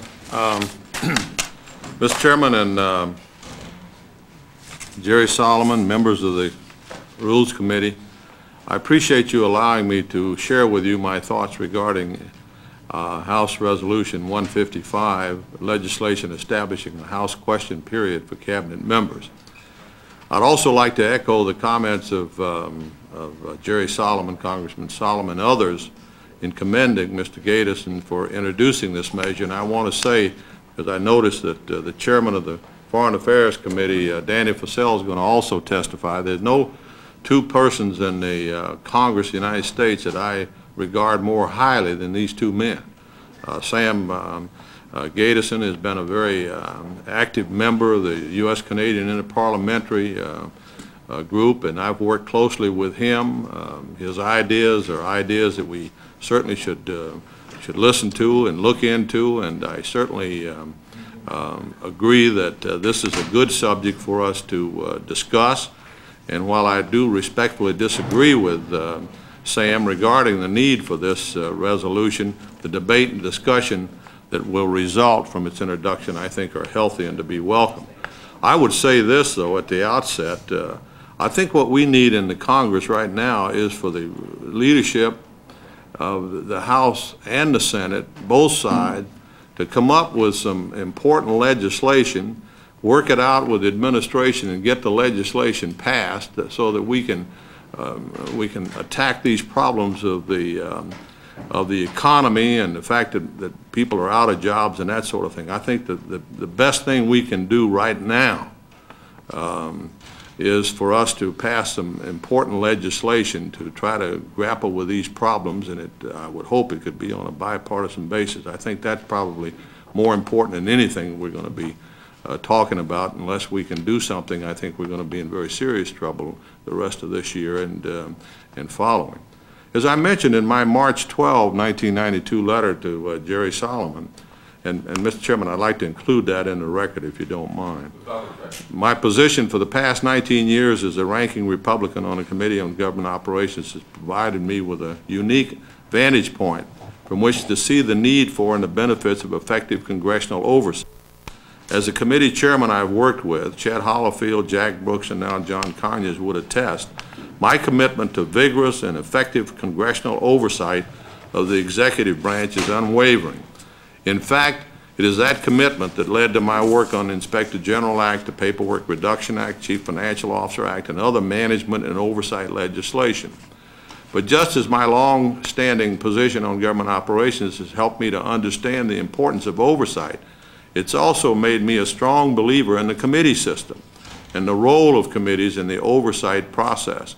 As you recall, we had some reform legislation some years back, and we asked all committees because the Government Operations Committee, which is the premier and the only um, committee that has jurisdiction over all of the federal agencies, we ask all of the committees of the Congress to um, do this oversight and to have a committee on oversight. And as a matter of fact, uh, we all know uh, John Dingell um, on the Energy Committee heads up the, and chairs the oversight uh, committee of that committee, which is a very important part of that uh, overall process that they have.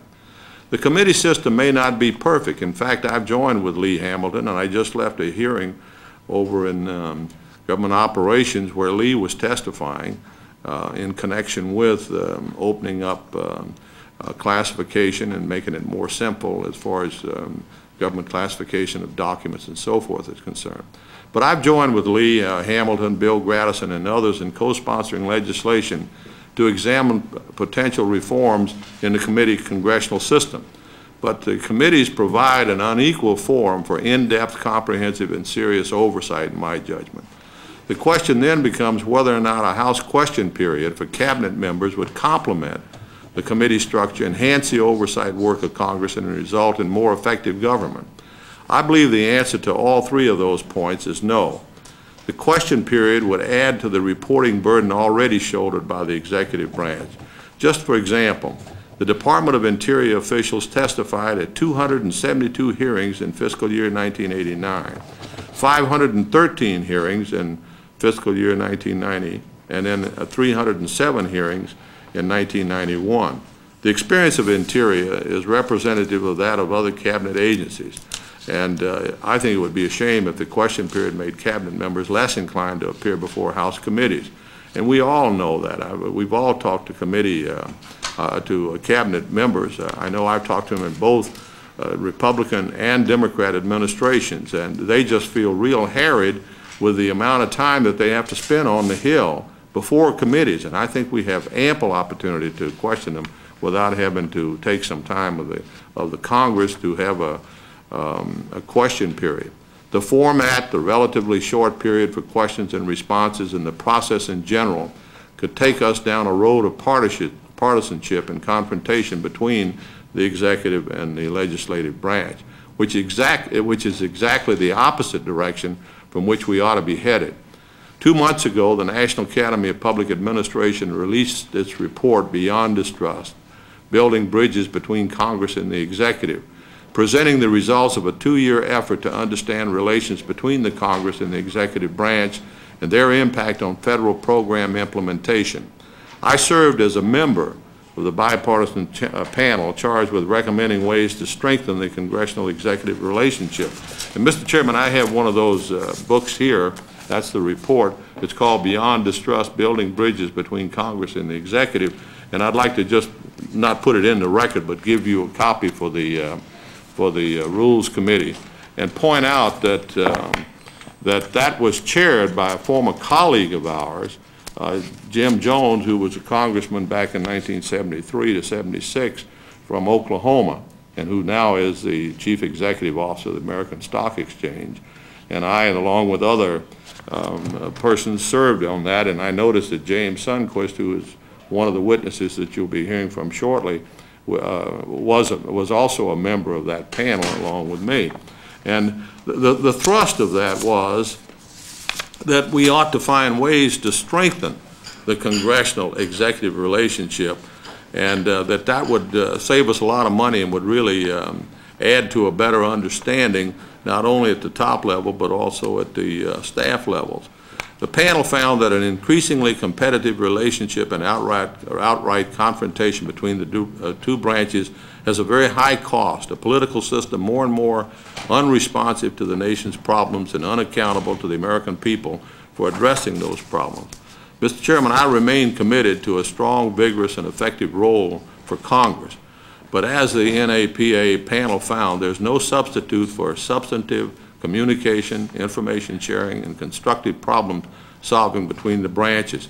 H.R. 1, um, 155 will not get us there. In fact, it may take us in the opposite direction.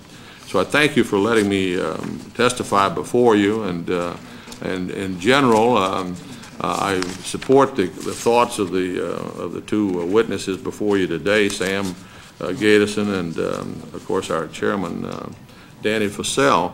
But in this case, I think it would be a, an extra burden to the Congress, and I don't think it would really accomplish anything.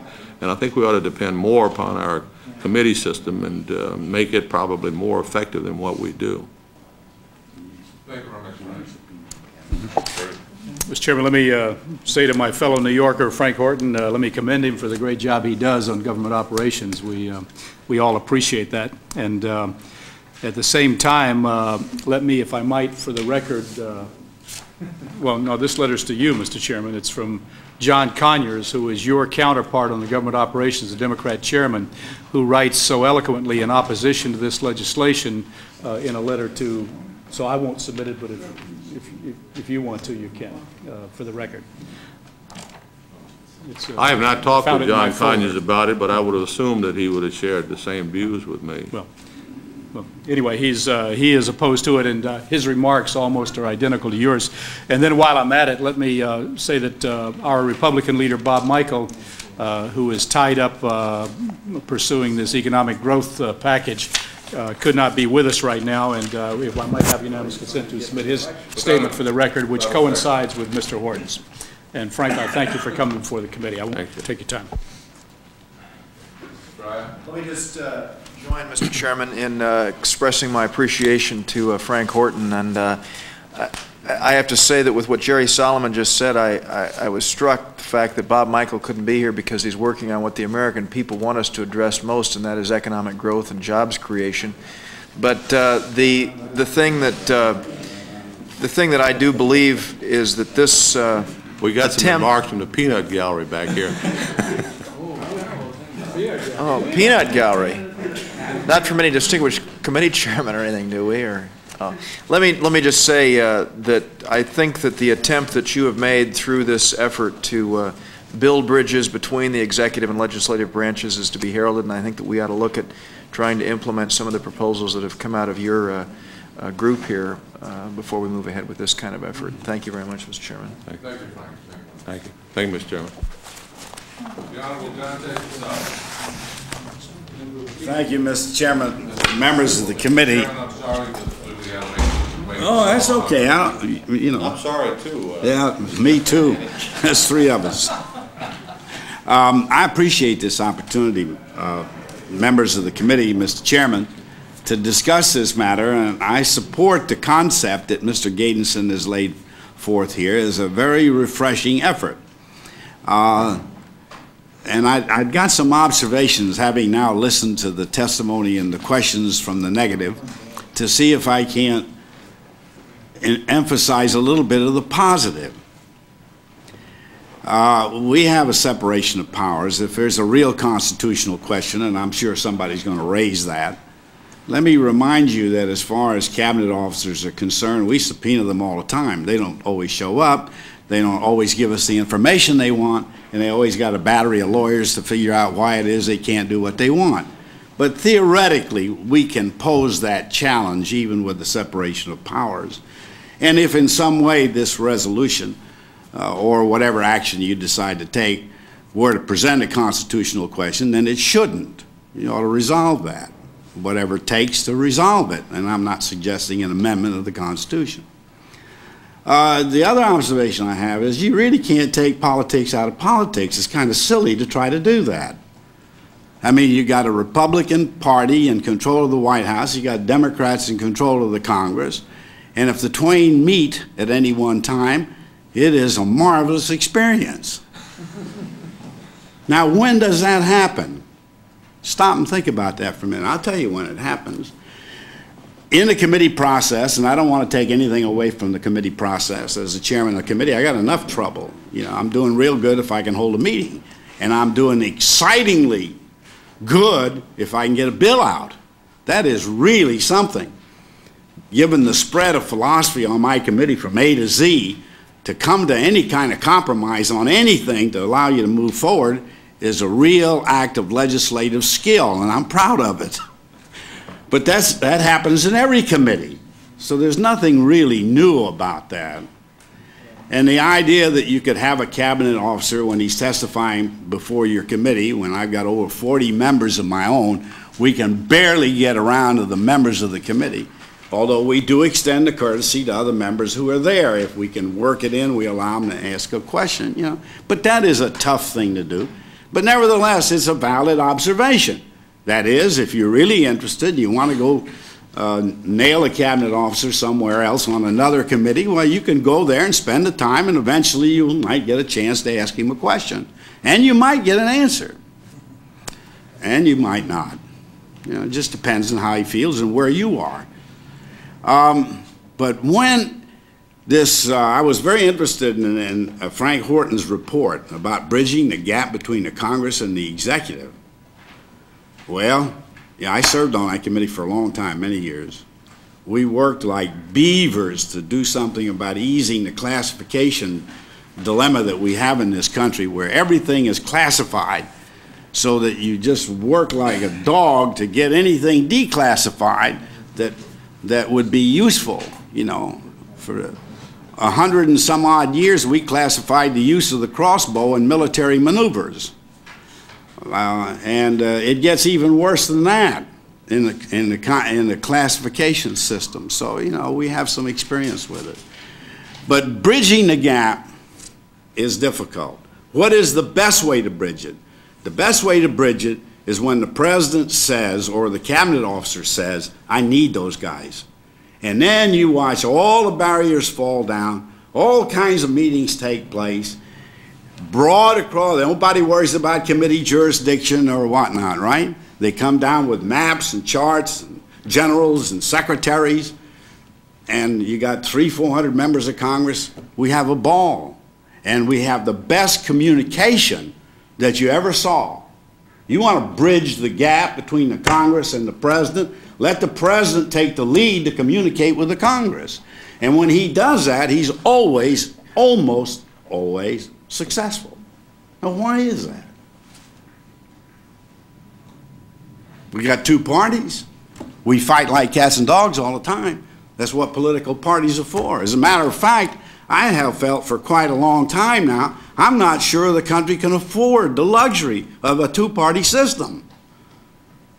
But you know, the democratic process is what it is. Nobody ever made a claim that it was efficient. Nobody made uh, any claim that it was not costly. But as Churchill said, when you consider the alternatives, this is not bad at all.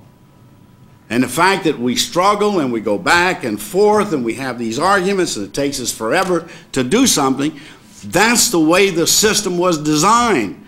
But when you want to move the fo country forward, if you take the President of the United States who takes the leadership to do it, as this president did in Desert Storm, when they come to the Congress, whether it's the president or the Joint Chiefs of Staff or the Secretary of Health Education, and he wants the help of both parties, they can get it when they want to communicate. Now, I don't have any illusions that by having a question period on the House floor, that you're going to have this kind of, of uh, of uh, exchange and that you can drive this thing. I don't, I don't know that, that we can do that at all. But it would be an important part of the political process. And we all know what it will boil down to.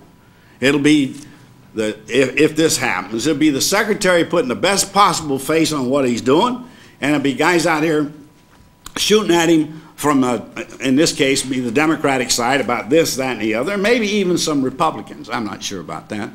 But generally, the Republicans would be supporting the cabinet officer, and the Democrats would be trying to find, you know, and we'd have some kind of debate.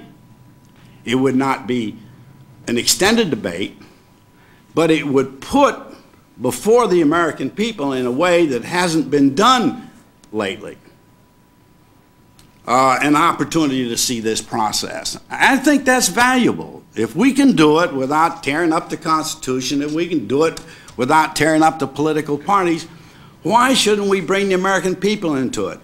Just think if it had been possible to put on camera and before the media and before the American people the kind of conversation that we had with the Secretary of Defense and the Chairman of the Joint Chiefs or any other cabinet officer, by the way, Secretary of State, who comes before the Congress from time to time asking for the fullest kind of discussion with all members.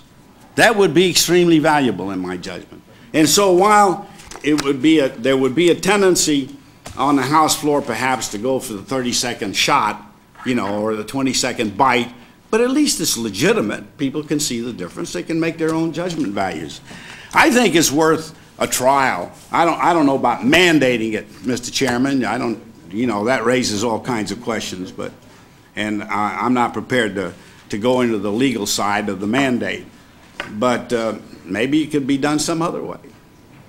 Anyway, I think it's, it's, it's a worthwhile discussion that we're having.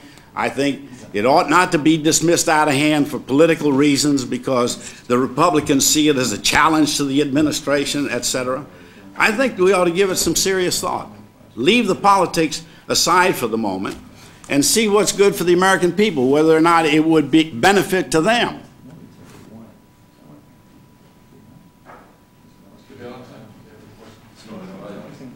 As always, appreciated and enjoyed the testimony of our, of our colleague and dear friend from Florida, but no, I, I don't have any questions at this time. Uh, Dante, when you're ta- talking about a mandate, this doesn't mandate the cabinet officers to come. No, I understand. Okay. Mr. Solomon? And by the way, as far as the committees are concerned, Mr. Solomon, I, I, I don't know. Sam thinks that uh, out of deference to the committee chairman or the people who've been working on the issues, and whatnot, with the cabinet officer, they ought to go first. I'm not sure about that. I'm, I, I have no great fear that I'm going to lose something because somebody else is asking the questions. I, that doesn't really concern me. And I figure I'll get my shot at that cabinet officer when we have the hearings. I would much rather have people who are not involved in the committee work have the opportunity to question. That's the way I see it. The great value that I see around here in all the years I've been here is when we get all of the members of Congress locked up in a room with a cabinet officer. Then we really get down to business. And there are a lot of tough questions that are asked. Mr. Solomon? Mr. Chairman, let me say to Danny Fascell that um, he is, without a doubt, one of the most respected, the most diligent, and certainly one of the most distinguished members of this House, and a really great chairman of his committee. Just don't say but. and I won't even say but. but uh, I don't think it's a question of uh, some of us who are uh, somewhat opposed to this uh, this kind of suggestion. It isn't a question that we worry about uh, uh, the president being challenged by the Congress. I think um, those of us that share my view are worried about the impediment of Congress doing its job. But um, you know. Um, on all of these important issues, uh, when Secretary Baker does appear before your committee, uh, or whomever, uh, Dick Cheney or whoever it might be, uh, you know, that's covered by C-SPAN, and it's covered by the press. And matter of fact, one of your committees is one of the few that is covered, uh, you know, on a regular basis by C-SPAN and by, by the press. So the American people really do get to see it. But, but my, my question is this, can you imagine, now, seriously, can you imagine from what you have seen on, on television a few minutes ago with the British Parliament, can you imagine uh, a Ted Weiss, now, my good friend from New York, Ted Weiss, who, who introduces, well, wait He's not you- even here. I'll tell you why, because uh, I've told this to his face, I'm not saying anything behind his back. But Ted Weiss, who, who, who uh, introduces legislation to impeach, to impeach Ronald Reagan, is going to go on the floor. Can you imagine the theatrics with uh, Ted Weiss questioning Ronald Reagan? Can you imagine uh, my good friend Phil Crane uh, questioning Jimmy Carter, you know, uh, with some of the hard feelings that existed there? Can you imagine, my friends, can you imagine James Traficant and the theatrics that would go on Well, there I got questioning uh, uh, George Bush? I got- What I'm, what I'm getting at, Danny, is this, and everybody knows what I'm talking about, and, and I have the greatest respect for Jim Traficant, uh, really. As a matter of fact, he votes with us quite often, and uh, especially when it comes to foreign aid and some of these issues. But, uh, uh, you, you, know, uh, this is what I'm talking about. We really have a serious problem. You know it. You know about all this sequential referral. You know when you have legislation coming out of your committee that your committee really ought to deal with, and nobody else. And yet it gets sent to judiciary, and it gets sent to government Well, that's a different problem. It's a, well, I know. My point is, let's get down and do the, pro- get to the problem that's really impeding this Congress. So that's my only objection. No, but well, I, listen, you know, if you can, if you can do something about that, multiple jurisdictions, I, I'm all for it. We're, we're for that, Well- you know, and again, I don't want to make, I don't want to have any grand illusions about what would happen in a question and answer period, but what's wrong with the American people? They're so used to seeing the warts on us now, what's a few more warts? I mean, people have got to understand what this system is about, and the only way you can do that is to have the people who are participating in the system be exposed to the people who are voting us into office. I don't see anything wrong with that. Let me, You know, me- warts and all. We're no different than anybody else. My friend Sam mentioned the word king, and you know, you just mentioned it indirectly too. You know, fiefdoms, fiefdoms, fiefdoms. You know, all these chairmen of all these subcommittees and their little fiefdoms, and Sam laughed in the back row. Ain't everything, anything gonna be done about it unless we really Well, get, I put don't know. I don't it. feel like I have a fiefdom. As a matter of fact, I don't even feel like I have a fief. Well, I'll yield back my time As, that. as the chairman of an authorizing committee, and having to look down the eyeballs of the appropriators every day with the administration who could care less whether they have an authorizing bill or not, uh, how do we get anything done? We're going to go on a major bill here now by virtue of, quote, a silent agreement, unquote, conducted in the media uh, through unknown sources with a continuing resolution on a major piece of legislation that we, we have been dealing with for years. The gentleman just Yeah. answered my question with a question. He says, how can we get anything done? Well, That's we did. We, we did. No, I'm talking about the authorizing committee. I'm just talking about the authorizing committee, just making the point, I'm not concerned about fiefdom. I'm concerned about getting work done. But, you know, why not let the American people see what the problem here is? Now, you, you, you guys over there, and I don't say this disrespectfully, okay? You want to get rid of Congress, you want to get rid of the Democrats, so you can have Republicans in the Congress and a Republican in the White House. And therefore, that would ease the problems for the country. That's the point you're making, all across. Well, we kind of object to that, you know? We, we think we have But we, we, something we to do say. hope that happens in November, but. No, I understand. I understand what you're doing. You know, American people are not stupid either. They understand what's going on. Mr. Dreier. Thank you very much, Mr. Chairman. I uh, have to say that uh, there has really been a misinterpretation of what it is that we on this side are trying to do, Donnie. We don't want to eliminate Congress. We are not trying to involve ourselves just in any kind Democrats. of...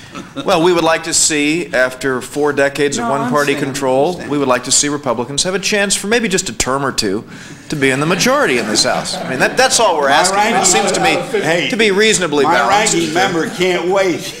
Yeah. Well, my ranking member here can't wait either. But let me say that uh, it it's- it seems to me, right, it it seems to me that as we, as we look at this, Now. Donnie, I mean, it is very clear that we have a goal of openness on our side. And I think that there is this, uh, you know, uh, there is this openness that is there. I got a letter here that came from a guy called Ian Austin, who is uh, in Canada, and he writes, he's the parliamentary uh, correspondent for a publication there. And in it, he talks about the tremendous advantage of the constant news conference, which the president has and other members of the executive branch have uh, on, uh, on these issues. And uh, this information does get out. And in fact, he says that in the Canadian Parliament, of course, and- and we saw with John Major there and with Neil Kinnock, uh, they come with a great big sheaf, a stack, and their staff prepares them with every question and they give them the answer. So this is all scripted. And don't think for a moment that members of the executive branch won't have loads of people writing every single question which we might conceivably ask here, uh, just as they do now for the committee process. And so it seems to me, well, it, it seems to me that this openness, which you are saying you're for and implying that we're against, already exists today. No, no, I didn't say you were against the openness. Well, but I mean, the way, the way you have said this, Mr. Chairman, is that, that we are ones who are not quite as supportive of letting the American people come in and see the I wa- cabinet I- member I on the floor of the Congress confronting members of the House. I wasn't inferring that at all. Okay, well, I inferred that Absolutely from what you had said. No I- way. No, no, no, no Okay, way. Well, I, I, I inferred that from what you said, and I just want the Well, I record to be very clear that we in the House, uh, on this side of the aisle, clearly want openness. Oh, just, we want to be efficient. This guy closes his letter by saying, like our counterparts in Washington, we could find much better ways to spend our time. And I, I, I want to see us go ahead, and I want more openness. I mean, we're the ones who launched the disclosure effort last week on this check cashing thing from our side. We encouraged openness and disclosure, and I want to see us do that. I just want to see us do it in a very balanced way, and I think that deliberation over Sam's proposal is a, a very important thing, and we should ask every single question possible. Well, you know, listen, it's, um, it's a fresh concept, but I, if, if we're talking about trying to get things done, okay, without having the eternal confrontation of a two-party system and a divided government, the one way to do that is for the president to take the leadership to bring the Congress in both parties. And it works every time. Now, it, so it doesn't have to be politics as usual. The American people expect that the two parties and the Congress and the administration can get together to work things out for the benefit of the country. It doesn't have to be eternal confrontation. Now, one way to bridge the gap, therefore, is to have more and better communication. I'm, I'm not certain that a question and answer period, uh, as political as that will be, as once it gets started, or might be, will improve matters.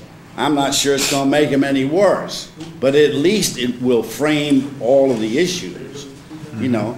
And it might lead, it might lead, it's possible, it might lead to better communication if we start having the kind of dialogue that gets rid of the burden that we have to carry for our respective political parties. Well, you made it very clear that uh, any member who wants to come to your committee, and yes, I mean, they have to sit there through 40 other members' questions, but We'll they try- have the opportunity to We'll- communicate. We'll try to give them the opportunity to ask. That's right, and I've done it before myself. I've been before your committee and asked questions at the end after every other member who was there But you know, uh, asked those questions. Just think back when we were in the caucus room, three or four hundred of us, both parties there, with the cabinet officer right there who's making the pitch, talking to all of us, and everybody got a chance to ask a question. We had no format, there was no stricture of any kind. We just sat there, we took the names as they uh, stood up to be recognized, and we went right down the list, Republicans, Democrats, without regard to seniority, ch- committee chairmanship, or whatnot. And the result of that was you had an excellent dialogue, exchange of views, and bridging the gap between the Congress and the executive. That's all I'm saying. Well, if we're going to be able to uh, accomplish and expand on that, I have no problem with this uh, proposal, but I think that there are a lot of other I tough think, questions that need to be answered. the administration might welcome this opportunity to, to expand on the idea. Maybe they don't like question and answer. Maybe it doesn't lend itself except to television with a 20-second soundbite. You shoot one guy over here and he shoots you back. Well, but as you said, go the 20-second soundbite is exactly what will be carried off the floor of the House as a question is raised. We raised. got that problem now in all our debates. Right. You just listen out there. I can. So, I mean, this will not cure that problem, then, is what I you're said you can't take Right. politics out of politics. But it won't cure the problem of the 20-second soundbite. No, it won't cure that problem, not as, not as long as somebody has to, you know, C-SPAN goes Mm-hmm. from gavel to gavel, you gotta give them a lot of credit for that. That takes courage and determination. Okay, Mr. Chairman. Thank you, Mr. Chairman. All right. Uh, no question, Mr. Chairman. Thank you very much. You gonna be here when the team comes up? I hope so. Well, please, please do that. I've, I've forgotten. We'll call your office. Thank you very much. Mr. Thank you, Mr. Chairman, members of the committee. Thank you, Jim. All right. Now, we're very pleased to hear from Lloyd Cutler, former counsel for President Jimmy Carter, presently with the Committee on the Constitu- Constitutional System. Thank you, Mr. Chairman. My bottom line is that the question period is a modest improvement that's well worth trying. As you know, it's been very successful both in the United Kingdom and in Canada and in most of the Anglo-Saxon parliamentary systems. It informs the public in an interesting and Mr. Solomon and Mr. Dreier in an entertaining way, and there's nothing wrong with informing people in an entertaining way. Your party elected a professional entertainer who did that very successfully for two terms. It gives backbenchers a chance to raise questions, not only on national issues, but on issues of special importance to their own constituencies. And it gives cabinet members visibility before the public that they sadly lack today. I've been around here a long time. I couldn't name all the members of President Bush's cabinet. Certainly, there are few, if any, people in the country who could name the members of the cabinet. They almost never appear on television in a way that interests people. I, I almost venture to say, I wonder if members of this committee can name all the members of the president's cabinet. This is no time for an because I- I examination. couldn't pass it- I couldn't pass it myself. Remember, President couldn't name all.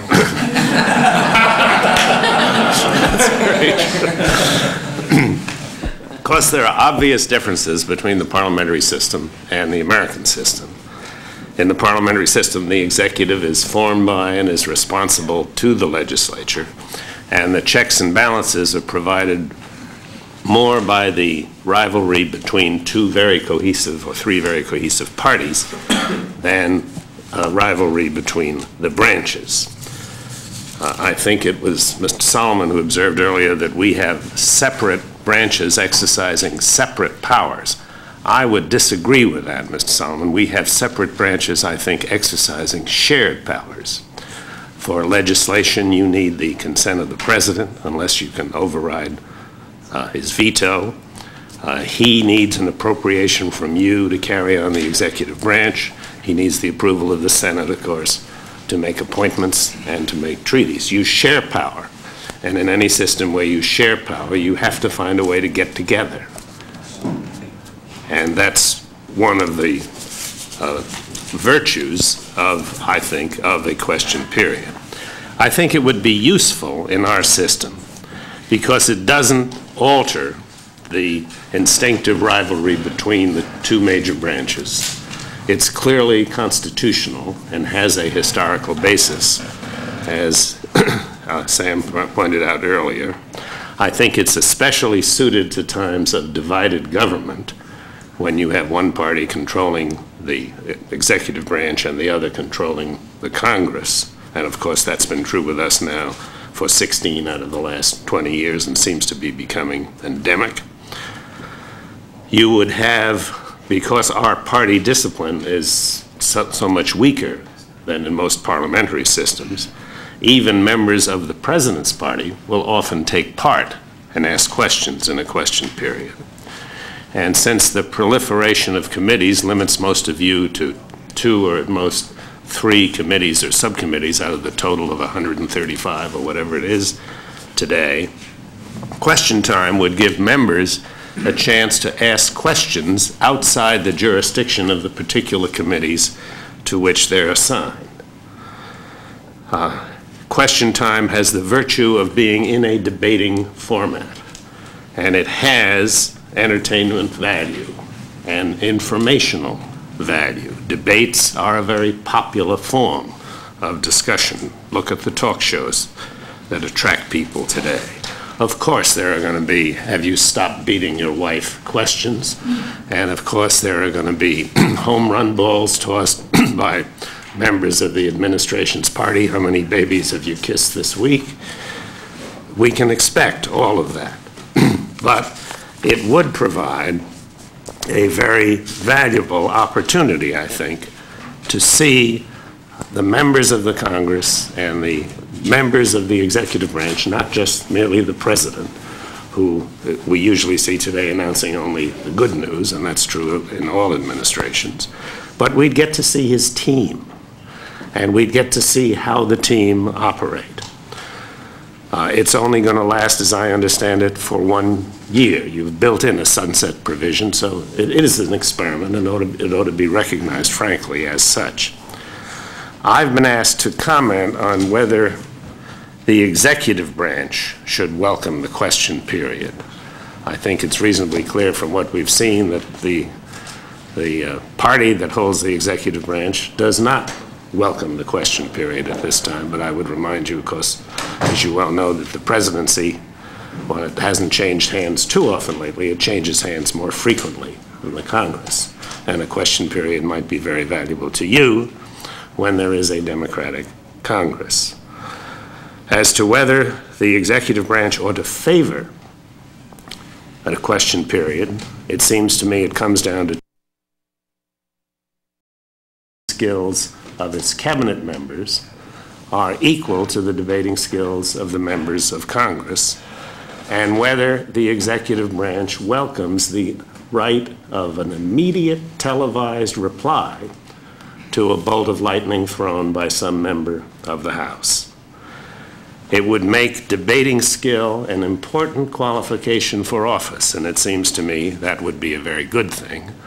And it, I can hardly see how it adds to the burden, which certainly is a burden, of a cabinet member called before so many different committees so many times during the year.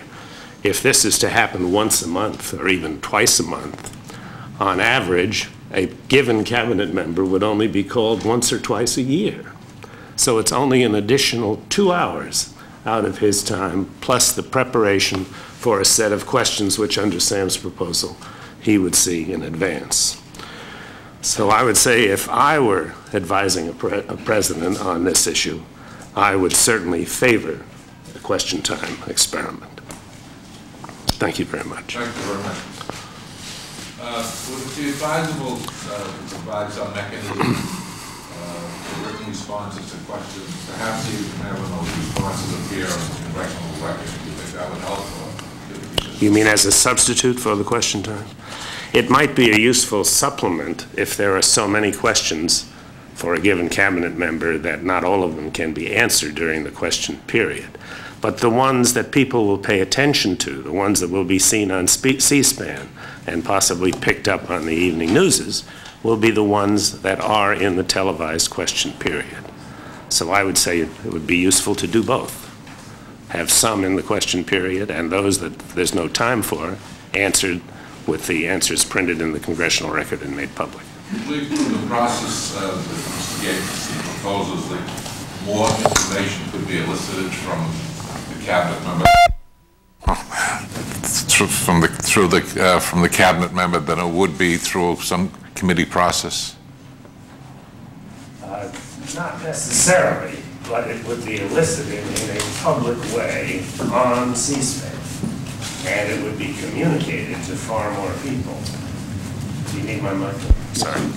If C, if C-SPAN has to run around covering 130 different subcommittees and subcommittees of the House, plus all its, their counterparts in the Senate, C-SPAN can't possibly do that, and the public can't possibly watch it. I would dare say only two or three of the literally hundreds of committee sessions you have every day in the House and the Senate are heard, are watched on C-SPAN today. This would be watched, and it would probably be watched by a larger audience than the average committee hearing. Now, uh, you've heard the, the question about the Tip O'Neill, Jimmy Carter situation. I'm sure you were very close to that scene. You probably could open it up. Well, I, I wish I could, but I came to work for President Carter only in October of 1979. It's only 15 months before the end of his term. But from what I remember of President Carter, he was all for things like a question period. And uh, the time, uh, uh, the time that you'd uh, probably be best proposed for the cabinet ministers to appear before the Congress, uh, would it be better during the day or after the official uh, work of the Congress has been done? So it'd be better for nighttime viewing so more people could watch it? Do you have Well, any? I, I think it's a question for you. Uh, I take it, uh, the resolution itself uh, says, uh, after the disposal of such business on the Speaker's table as requires reference only and before the private calendar. So I Hmm. take it he had in mind the morning or the very beginning of the session. But I think that's a, a matter of... But I'm just asking what your opinion would be. I don't think it matters much because it would be the rebroadcast on C-SPAN, possibly in the evening, or if it was an especially interesting colloquy uh, several times in the next few days, that people would actually see, rather than, I don't know that there are that many junkies who watch C-SPAN all day long. Uh, We're we're informed there are. Mr. Beilenson? Thank you, Mr. Chairman. It's it's nice to have Mr. Cutler here. He's someone who many of us appreciate and whose whose counsel we value. And and I've got no, uh, you know, I've got no bones to pick with his own point of view on it. It's a perfectly legitimate one, and it's, he's perhaps not, you know, not not wrong about it. The- What I, where I come down, Mr. Chairman, and- and and my colleagues, is that, and this has nothing to do with the gentleman's testimony, is that this this proposal really is not terribly important or terribly useful. Um, There are so many other things that need to be done and would be far, far more useful and far more relevant for us to spend our, our, our time on. I want to just digress for one quick moment to bring to the committee's attention some, uh, just a short two-page memo that was sent by Arthur Schlesinger Jr. uh, which the committee members, I think, may have uh, before them, uh, in, in which he, if I may just quote one paragraph, he, he, he cites some, you know, some evidence to, to the effect that, in his, his view, it would not be all that worthwhile to do this. Uh, and I quote him, R.H.S. Crossman, who not only served for many years in the House of Commons and also as a minister, but was an academic authority on the British political system, concludes, quote, what most questions usually reveal is the capacity of a minister to evade an issue, end of quote. Lord Hailsham, uh, another Hailsham, another parliamentary veteran who has written extensively on the British government, speaks of, quote, the twice weekly exhibition of schoolboy humor in the House of Commons, end of quote. The Economist calls a question hour, quote, an undergraduate pastiche of a White House press conference. End of quote. Woodrow Wyatt, now in the House of Lords after many years in the House of Commons, describes question time in his memoirs as a, quote, useless privilege, a charade, a fake instrument of democracy, a Punch and Judy show. Uh, and one more, if I may. Nor does question time seem to work any better in Canada. Quote, anyone who has participated in question period, writes Professor James Gillies, a former MP, quote, knows its main purposes are to embarrass the government, to amuse the tourists and TV audiences, and to make life easier for reporters. It is, totally it is a totally ineffective way to elicit significant information. End of quote. Uh, let me come back only just for a moment, if I may, Mr. Chairman, to the point I was, I was making before that. Um, and, and, this relates to a point I made earlier on, I think, when Mr. Gejdenson was before us. This, this whole proposal, which, which has some obvious use and, and would be entertaining and, and therefore, in the sense of attracting people watching it, I suppose, might be instructive to, to some degree, um, is not conducive to the thoughtful kind of discussion of public issues which I and many of us believe very strongly is what exactly is exactly what is needed these days. I mean, it's, it, it's as I said earlier, it's conducive to the kind of cheap shots. It, it becomes a kind of sideshow, as Professor Campbell, I think, will say in his testimony um, later on. What bothers me is that we in the Congress, and I don't mean to, for us to take all the blame, because quite obviously there's, there's plenty of blame to, to go around, and as I said earlier, I blame the, the voters back home, too, for sending us a divided government year after year and then expecting us to somehow operate like, a, like somebody sent us here with the ability to do something. We, we simply can't uh, uh, do it. But we in the Congress, just to speak about our own, uh, about our own responsibilities, don't do our own job well enough uh, even now. What we need most of all, in my opinion, this member's opinion, not all members would agree, is much better oversight and review of government, of government agencies, government department heads, government programs. Uh, you get that through hardworking uh, authorizing and appropriating uh, committees. You don't get it through a, a two-hour, once a month or once a year or several times a year uh, session on the on the floor of the of the of the whole Congress. We need better work in general by most of our committees, as as I mentioned uh, earlier uh, on. there's so many there's so many other serious and, and, and, and terribly necessary improvements that we need to, to make in our own procedures here in, in the House of Representatives and over in the other houses as well, it seems to me, uh, that we should be concentrating on those things which would, which would have real results, perhaps, if we were lucky and worked hard enough at them in terms of our, of our legislative output here. Uh, than, than this proposal, which is, which is perfectly nice. It might be useful in some respects. In my opinion, it's not terribly important. And uh, I wish, uh, as I think Mr. Solomon or Mr. Dreier, one of the two said earlier, that we would concentrate our attention in the coming months, first of all, on some, some of these uh, proposals which are before us with respect to changing procedures uh, uh, of the House of Representatives before we worry about uh, undertaking this particular matter, which, to repeat myself, uh, even if it worked fairly well, would not be terribly important or have any real effect, I think, in the workings of the government of this country. Thank you, Mr. Chairman. May I just make one comment, Mr. Chairman? I totally agree with you that the issue of divided government is much more important, Mr. Beilenson, and that persuading people to realize what they're doing in giving up accountability of public officials when they pick a Congress of one party and a president of the other party is the most critical issue we have. I also agree with you there are far more important uh, matters relating to the structure and operation of the Congress than the issue of question period. But those criticisms of question period that you read sound very much like inside the Beltway or inside Westminster comments. It's an annoyance to some of the people who are running the government. It's, it's but I would guess myself that it would enormously interest the public And if the question were put in polls, would, do you think this is a good idea? The public would say yes, and the public would watch. Yeah, the public would watch, and the public, I mean, the public loves this kind of stuff, as you, as you know. Let's say the gentleman, I mean, the public loves these, these talk shows, uh, which if you listen to them, I mean, are, are, are garbage. If, if, and I think I'm being objective about it. I mean, I, have no, I'm not talking about whether they're right-wing or left-wing or middle-of-the-road commentators, but generally speaking, they're garbage. Uh, they feed people the least important, the least useful information. Uh, they help destroy whatever faith people have left in their in their government. I mean, I tell people back home, it's not important. I don't care anymore what they think of me, whether they reelect me or not. Uh, but we're just we're just dragging ourselves down. We're destroying we're destroying our whole form of government. We're destroying our whole faith in government. And there's no end uh, to the nonsensical, stu stupid little sideshow type uh, kinds of things that, that you know that we can I mean the people I don't mean to pe pick on People magazine they're they're much better than I mean they're not political and they're not you know what I mean uh, I mean Mr. Mr. Fascell was talking about seeing us warts and all we're all, we're human beings you know everybody's a human being and uh, if everybody in the world was subjected to the kind of scrutiny that members of Congress currently are, the world couldn't function. People couldn't stand it. People have no idea what it's like now to be a member with, of the Congress. With respect, a question period couldn't possibly lower public opinion yes, it about could. the working of the Yeah, it would just it would just pile if anything, on. it'll inform them more and perhaps bring them to the point where they realize the consequences of No, if, if you had some way, as others later on after you are, are going to suggest, Mr. Mann and, and others, of, of formulating times for debate within the House under special orders or other things where you, where you debate in an orderly manner major issues which are before or should be before the country, that's one thing. But if you sit here sniping at one another with seven or eight or ten or twelve questions, uh, many of them will be very uninteresting to anybody except the, the, the person who answers it.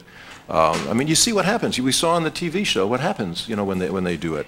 And uh, it's, it's just, it's just going to be an added accumulation to the, to the garbage that uh, that is that is is what the American people now is is coming to understand or believe is is is American politics. I hate saying this, you know, I hate saying this. It's a very non-small d democratic kind of thing to do, but I'm I'm becoming more. I have been of years, and I'm becoming more and more of the opinion that there's no way this government can operate properly and tend to the better needs in, in, in, a, in, a, responsible and wise fashion to the, to the needs of this country if absolutely everything is under scrutiny. I happen to believe, be one of the few, I suppose, who believes that the Congress of the United States, I mean, I know theoretically it's a horrible thing to say, but we would function better, there would be fewer problems abroad in this country if we didn't have television, if we didn't have recorded votes, as a matter of fact. The only time the Ways and Means Committee, I don't mean to pick on them, does anything responsible to be frank about it, or, or, the Senate Finance Committee, which passes our tax bills, is when they shut the doors, keep the lobbyists out, and the members lie about how they vote, how they vote. So they don't have to come out and be attacked by the banking lobbyist, the insurance lobbyist, the savings and loan lobbyist, uh, and they can say, gee, I, I, really tried to help you out on this thing to get you that tax break, but I was just outvoted. And, and they get together and they do the right thing for the country. And the only way they're able to do it is if the folks back home all of whom now are members, everybody is a member of a special interest group or other, every one of whom is, is communicated to on a virtually daily, immediate basis by whatever group they belong to. You can't get away, you can't do anything around here responsible. You know, you can't do anything about entitlements or 36 million senior Americans within two days have, have, have uh, written or called our offices. I mean, just to, to take another example.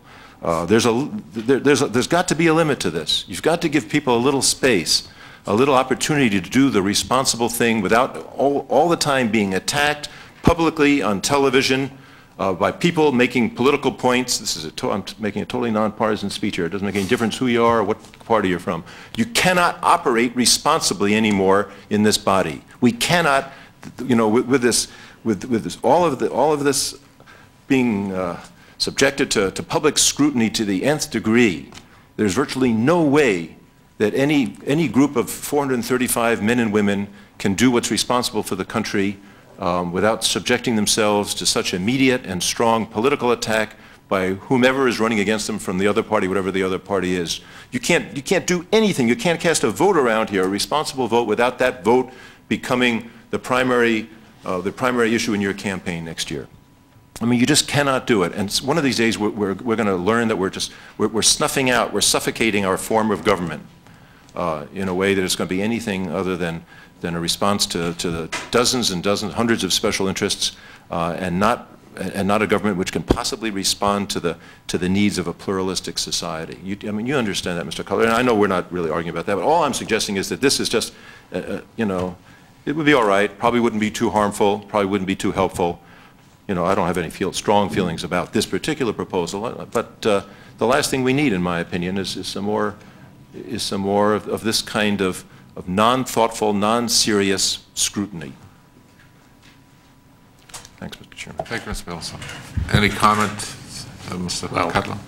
Uh, I don't think Congress or anyone else is going to be able to do away with television.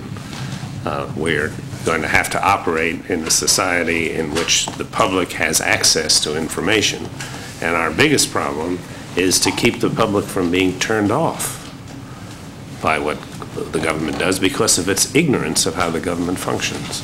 I don't think we lose much if, if the public gets to see everything inside the government. So I would come out, I'm, I share your concerns about how the government functions, but I don't think we can go, back to the days when it took three weeks in, in a coach and four to get to Washington, and in which the newspapers, uh, in which it took us, uh, what was it, three weeks to find out about the Battle of New Orleans.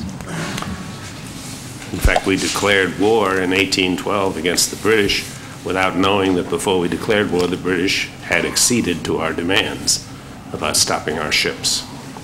Well, we got, we got involved in fewer wars around the world when it took us so long to find out that they were even going on or that we might be needed, that by then it was over. Uh, right. You know, here we get involved in President Jefferson. everything that goes on in the world, everything that goes on in the world comes before us, even as it's happening, sometimes perhaps before on CNN, and we all, you know, feel that it's necessary for us to respond in some way. fall on Baghdad, that's exactly right. But that's the world we live in today. Mr. Solomon. Mr. Chairman, before addressing uh, Mr. Cutler, let me, uh, I'm, I'm really taken by the, the colloquy that's been going on here with my good friend Tony Beilenson and, uh, and with you. You, had, Mr. Chairman, had mentioned uh, whether or not this ought to be broadcast at night, uh, you know, before a uh, prime time audience. And uh, again, my feeling is that it would, it would replace Saturday Night Live. I mean, that's how much of an entertainment it would be. But I, I say that with, with great respect for, for Mr. Cutler, but also with great respect for Tony Beilenson, because uh, he in no way was, was suggesting we do away with television or, or things like that. I think what he is worried about is that this body is not an efficient body, and we need to be working, as he has said, uh, on reforming this body, and it needs it terribly, and I think you know so. Uh, you know, I served for the 12 of my 14 years on the, uh, as the Republican representative to the North Atlantic Assembly, which is the, the political arm of NATO, which includes Britain and, and Canada. And um, we have discussed this, uh, this uh, question period that they have uh, at length with both uh, the labor wings and the conservative wings of their party, and almost to a man and woman, they say it is a total waste of time. And they say the only benefit is that uh, twice a week or once a week when they do it, uh, it allows these backbenchers to, to come on the floor and, and get it off their chest, and, and it is a form of entertainment. And it's almost like the, uh, it's almost like going to the Gridiron Club uh, or the uh, National Press Corps here in Washington when they put on the spoof uh, shows of members of Congress and somebody takes the part of Tip O'Neill uh, and somebody takes the part of Jerry Solomon, uh, uh or the Capitol steps that uh, go around and spoofing Congress. And that's what it, it is in their eyes. And, and they, don't, they say they don't accomplish a thing. Well, God knows we waste enough time around here. We, we don't get the important things done. So anyway, having said that, let me, let me say to my, my friend uh, Lloyd Cutler, we have a great deal of respect for you, uh, and uh, uh, you probably could serve in, uh, in most any capacity in any president's cabinet and, and do an excellent job. And I, will get back to that when we start talking about debating skills in a minute. But uh, I, I, couldn't get you the pay raise. right. Uh, but I want to thank you for your remark about former President Reagan. Uh, I talked to him just a few days ago, and he's doing fine. He's a great, great guy. But uh, last time you were in my office, Lloyd, uh, you were there uh, on behalf of Bart Giamatti, a great guy too, and uh, who's passed away. I think uh, was the president of Yale University, and you were there concerned about some legislation that I have that would expand the Solomon Amendment, which was law and had been upheld by the, by the, by the Supreme Court, uh, which denied uh, aid to young men who refused to register for the draft. And some of the Ivy League schools at that time uh, were upset that I was going to, uh, uh, with them because they wanted to replace the aid I was holding up with direct aid from the colleges to these kind, to this ilk. And um, I was going to withhold all federal aid to any university that, that replaced the college loans I was trying to prohibit. And uh, you were good enough to come in and represent, uh, I think, Yale University and Bart, and, uh, and he came in and consequently, those universities did not uh, get around to, to, replacing that aid, and I didn't get around to pushing my amendment or expanding it, so everything worked out just fine. Uh, you mentioned uh, your point about shared powers vis-a-vis -vis separate powers, which I had mentioned in my opening statement, I think are very well taken because you said, quote, we have to work together. And that's what I'm so afraid about with this, uh, with this question period, that it, uh, it would just raise such hostilities. And that's generally what's happened uh, in Britain and in, and in Canada. And, and, we, we don't need, that's what's right now wrecking the, uh, the economic growth uh, package. We, we're trying to work together. And there's hostilities on both sides. And we Republicans are probably as, as guilty as the Democrats. I don't know. We could question that. But uh, you brought up the point about debating skills and that uh, maybe whoever the president was would, uh, would choose his cabinet member because of, of uh, their debating skills against a member of Congress. Members of Congress usually get here, uh, perhaps all too often, because of their debating skills and not because of, of a real commitment or because of, of uh, I don't want to say integrity because I think all of us have integrity, but, but in other words, they, they get here because they, they are very good on the floor.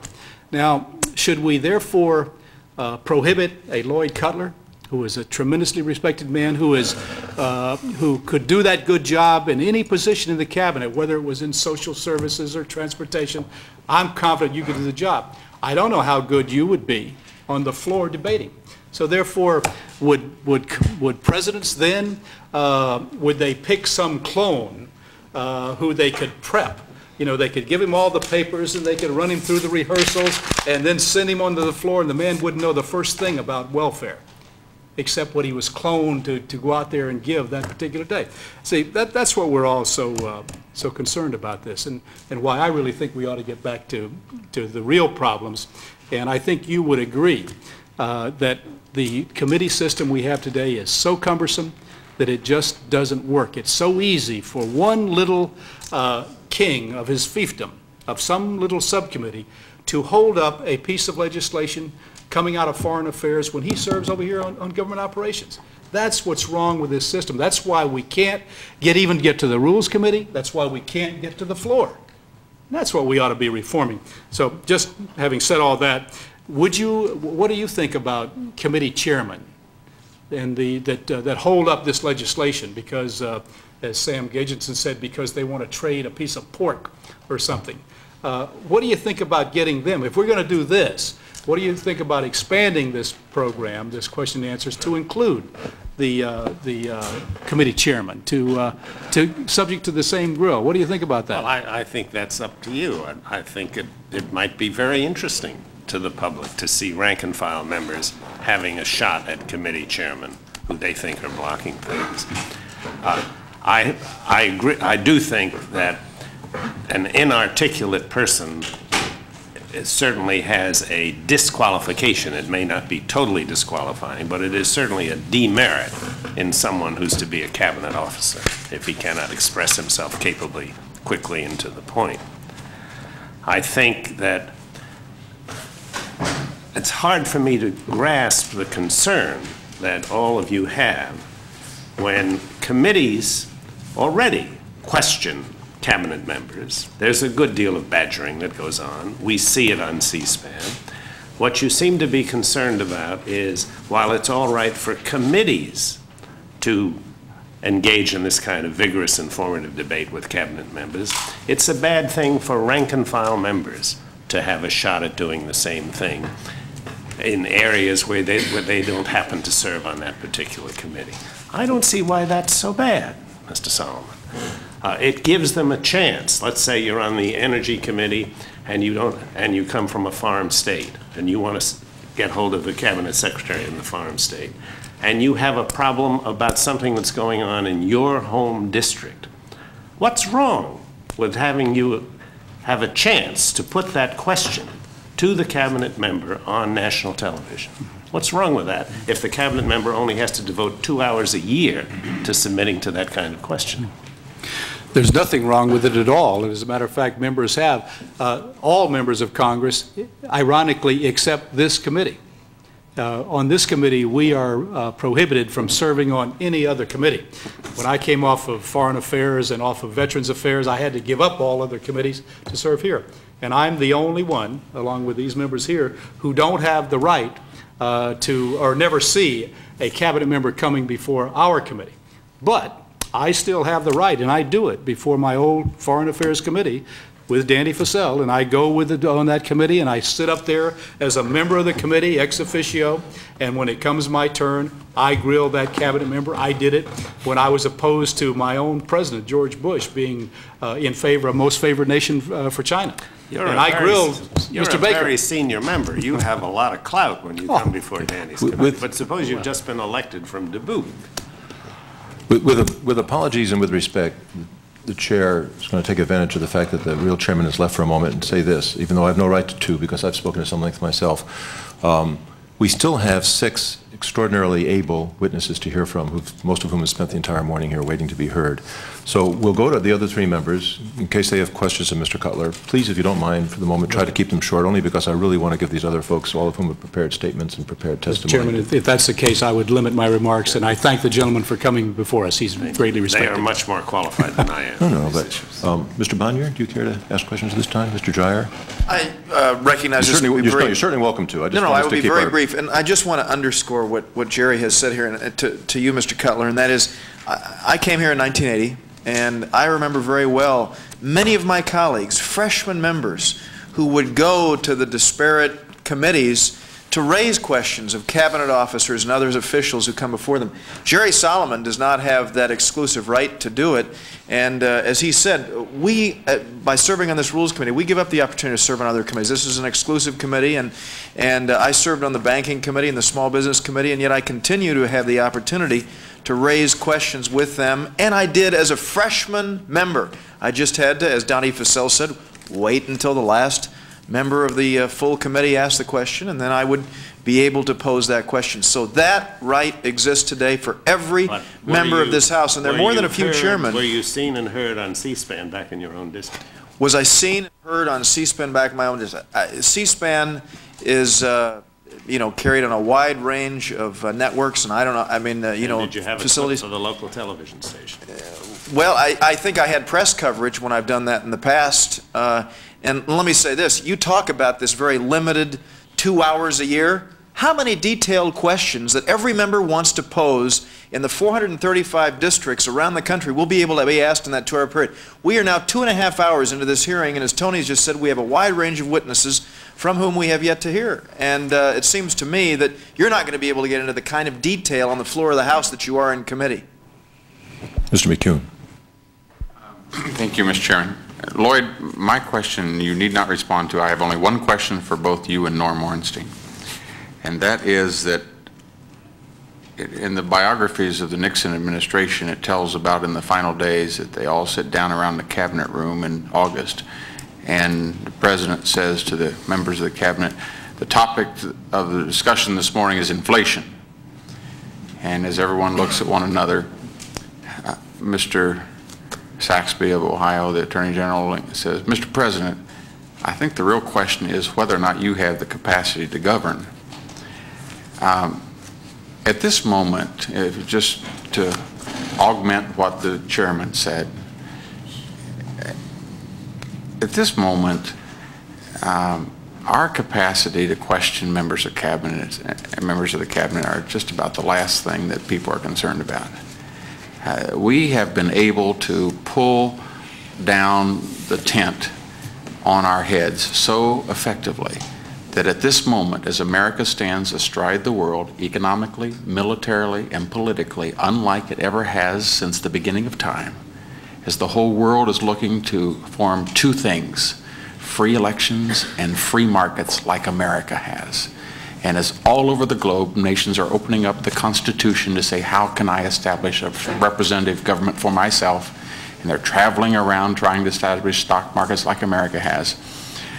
I, I fear that this institution has just about been committed suicide. I won't blame it on anyone else. I think we have effectively shot ourselves elsewhere. Uh, and so therefore, am I overstating the point or should we go ahead and is the main concern about the welfare of our nation whether or not we can get the Secretary of State to stand in front of the well? I certainly agree, Mr. McEwen, about the strengths and potential of this country, and that we, to go back to Mr. Nixon's phrase, we become a pitiful, helpless giant when we have a divided government. We have to find some way to inform the public about what divided government does to them and to their own ability to hold whoever is elected accountable for what's been done. Every single one of you will say that the results of the government in which you participate are awful, but it's not my fault.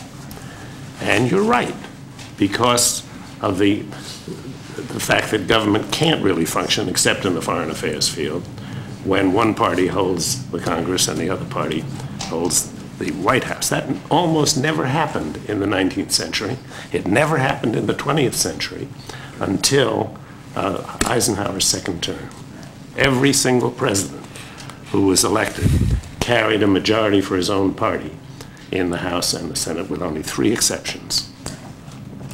Now we're the other way around. That's much more important, I grant you, than question period. But to change it, you've got to persuade voters that what they're doing, consciously or unconsciously, is a mistake. They ought to make up their minds to go for one party or the other party to persuade voters, you're going to have to educate them about how the government works. They are so turned off about government, in part because they see and hear so little of how it really functions. Question period might contribute. That's my position. Thank you, Mr. Cutler, very much. Uh, we're going to take the next three witnesses as a panel, if we may. Um, Professor Patricia Sykes, School of Public Affairs at the American University, Professor Colin Campbell, Director of Public Policy Program, Georgetown University, and James Sundquist, Senior Fellow Emeritus of the Brookings Institution. We're delighted to have all three of you here. We appreciate the fact that you've had to, we appreciate your patience. Perhaps you've learned something in the process, perhaps not. And now we'd like very much to hear from you. Professor Sykes, we'll start with you, ma'am. Okay. Absolutely. Maybe the Witnesses will hold just for a moment until we change our tape over here.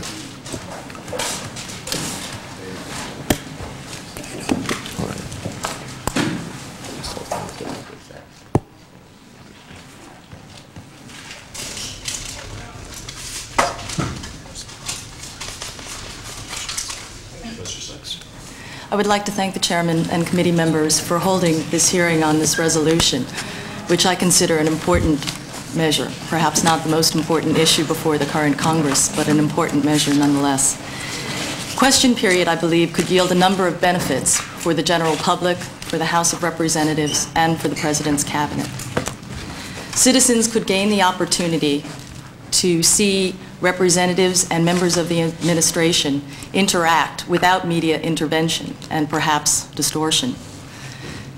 Generally, members of the House possess greater expertise than reporters, and the quality of the discourse will be superior to the exchange that often takes place on television, talk, and news shows. As an ordinary citizen, I would certainly prefer to hear a cabinet member questioned by Sam Gejdenson rather than Sam Donaldson. In Great Britain, question time receives um, much more coverage and attracts a wider viewing and listening audience than other sorts of parliamentary activity. And the U.S. political system affords few opportunities for citizens to witness firsthand public debates that focus on critical issues. In this respect, question period can make a valuable contribution to our civic education. Question period could serve the institutional interests of the House of Representatives as well as benefit the general public. It would offer House members direct access to a national forum and give them the opportunity to participate in shaping the national agenda. In contrast to your counterparts in the other chamber, um, House members lack easy access to a national publicity machine.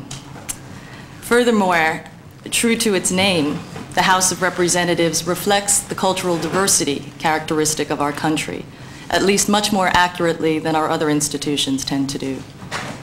And rank-and-file House members could place on the national agenda significant issues that might otherwise remain neglected. Finally, I think House members would have an opportunity to enhance the responsibility of cabinet officials. I doubt whether cabinet officials would render particularly blunt or revealing statements during question period, but they might anticipate being called before the full House of Representatives to explain and to justify their decisions. Anticipation of the event could serve as a useful check on questionable activity. In sum, the House of Representatives could benefit by creating its own national forum, by helping to shape the national agenda, and by enhancing the accountability of the executive branch. Members of the President's Cabinet could also gain a great deal from question period. The administration could use question period to persuade Congress and the public of the merits of its measures. Cabinet members might secure greater cooperation from the Congress as a result of their participation. Their willingness to participate could foster good feeling between the executive and legislative branches, and perhaps help to mitigate some of the tensions endemic to divided government. Of course, question period is a characteristic of parliamentary systems, but a, a system of separate institutions sharing power might need it even more particularly in a state of divided government. In fact, some of the Republican opponents of this measure might want to contemplate a possible outcome of the 1992 elections. Consider how question period would operate when we have a Democratic White House and a Republican House of Representatives. The partisan composition of our institutions could change, but divided government is likely to continue to characterize the American political system. Question period could provide many benefits, and I foresee no serious costs. Some opponents fear that the practice would intensify partisanship, but I think that result is highly unlikely. Skeptics of the proposal have witnessed some of the fierce and rancorous partisan conflict that takes place on the floor of the British House of Commons, but that probably wouldn't happen here for several reasons. Normally, partisan lines are less clearly drawn in the U.S. Congress and in the public and members of Congress tend to operate relatively independent of partisan tyranny. In fact, given some of the cleavages in our major political party, the administration might well encounter its harshest criticism from its own partisan ranks.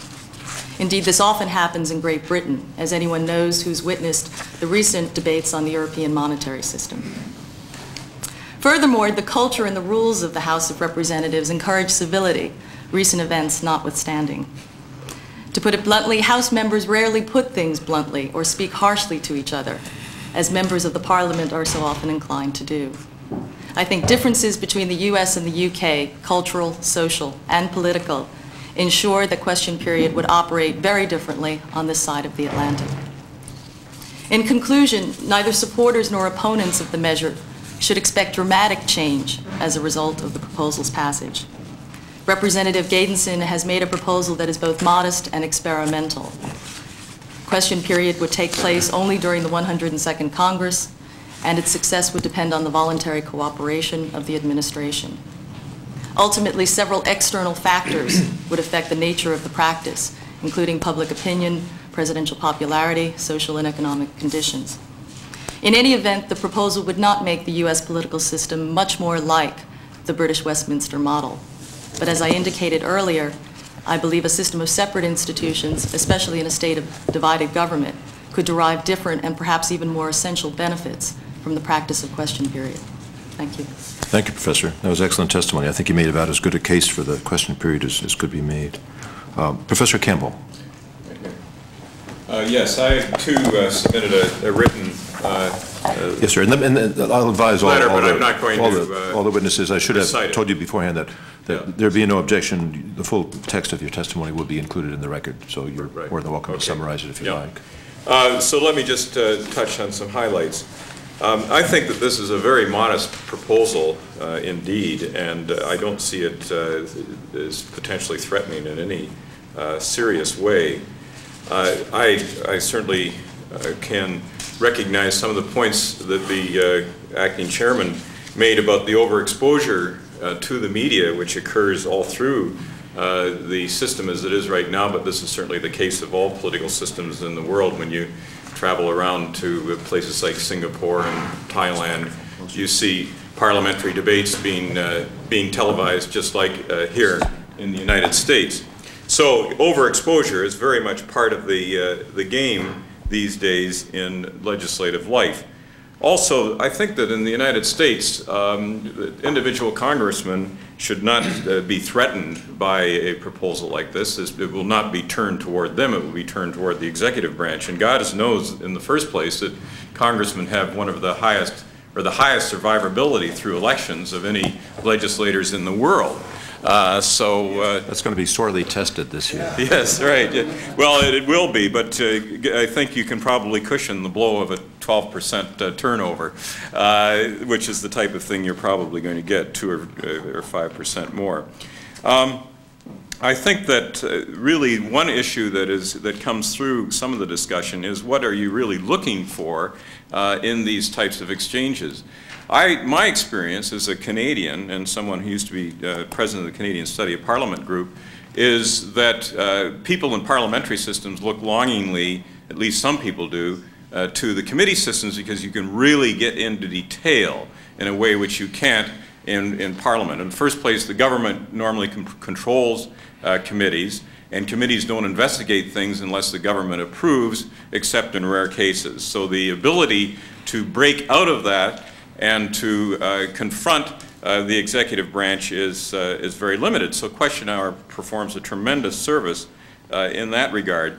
But one of the great difficulties uh, I find in the United States is that it does take time, nonetheless, to get the inquiry system of a, through committees running. And sometimes the most crucial period of a crisis is lost uh, in terms of galvanizing public opinion and giving people a sense of how the executive branch is, is dealing with it uh, because there's no more immediate way of uh, having officers of the executive branch come and answer questions. So I would say the strength of the parliamentary system is that it, can, it has an, an immediate impact.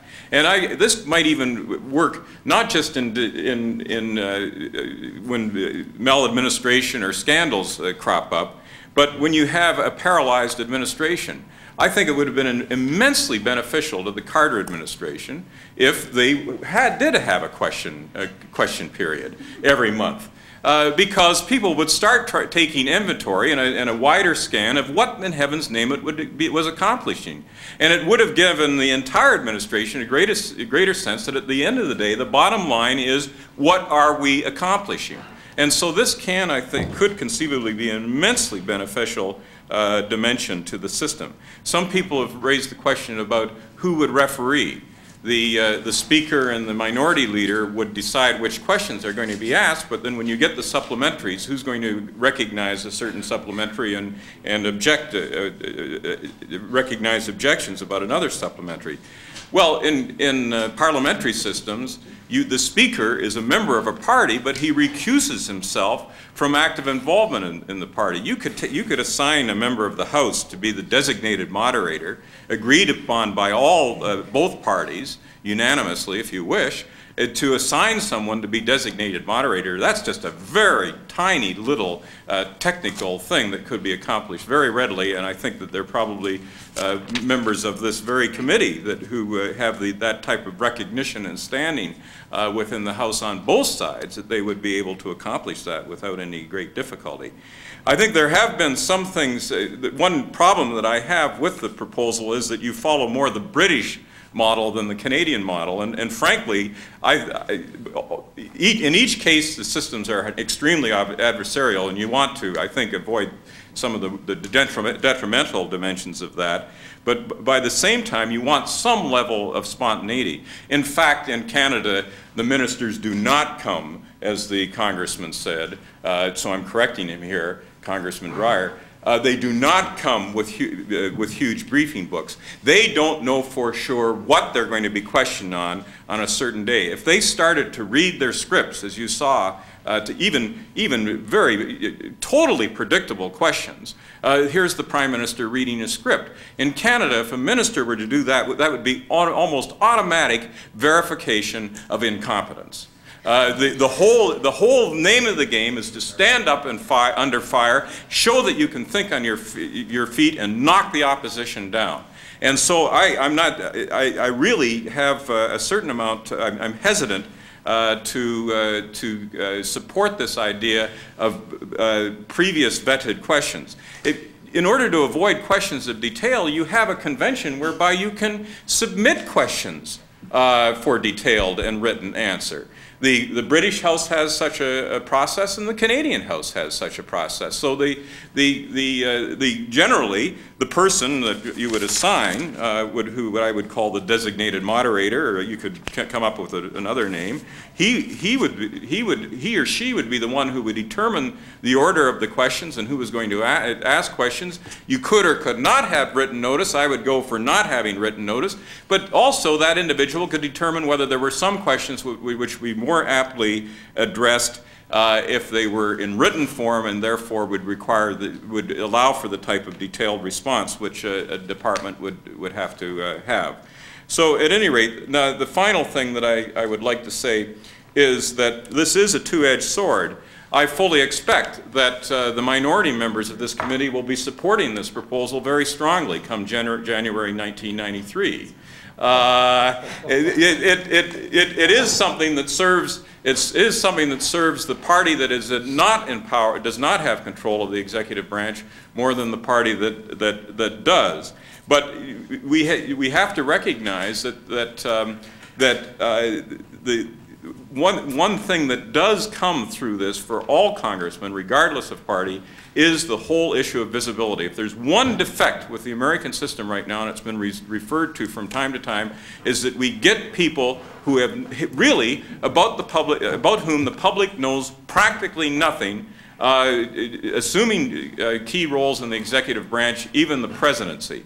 And if you had a device like um, uh, question time, you would uh, allow uh, members of the House with, who are truly capable as, as debaters and are working in significant ways in tracking the executive branch on key executive policy issues, you would have a forum in which they could rise in the House and, and articulate their questions and then follow through with supplementaries, and people would get an image of a different type of leadership than what we're getting through the soundbite oriented uh, selection process that we have right now, which I'm afraid to say ends up with not the best candidates imaginable. Uh, imaginable. And uh, just look at the five survivors right now and uh, on each sides of the House, and I don't think, frankly, either one of them uh, stands up uh, to the standards of, leadership which exist in parliamentary systems. I'll end my comments by saying that John Chrétien, the leader of the Liberal Party in Canada and the leader of the opposition, was in, month, uh, in town last month.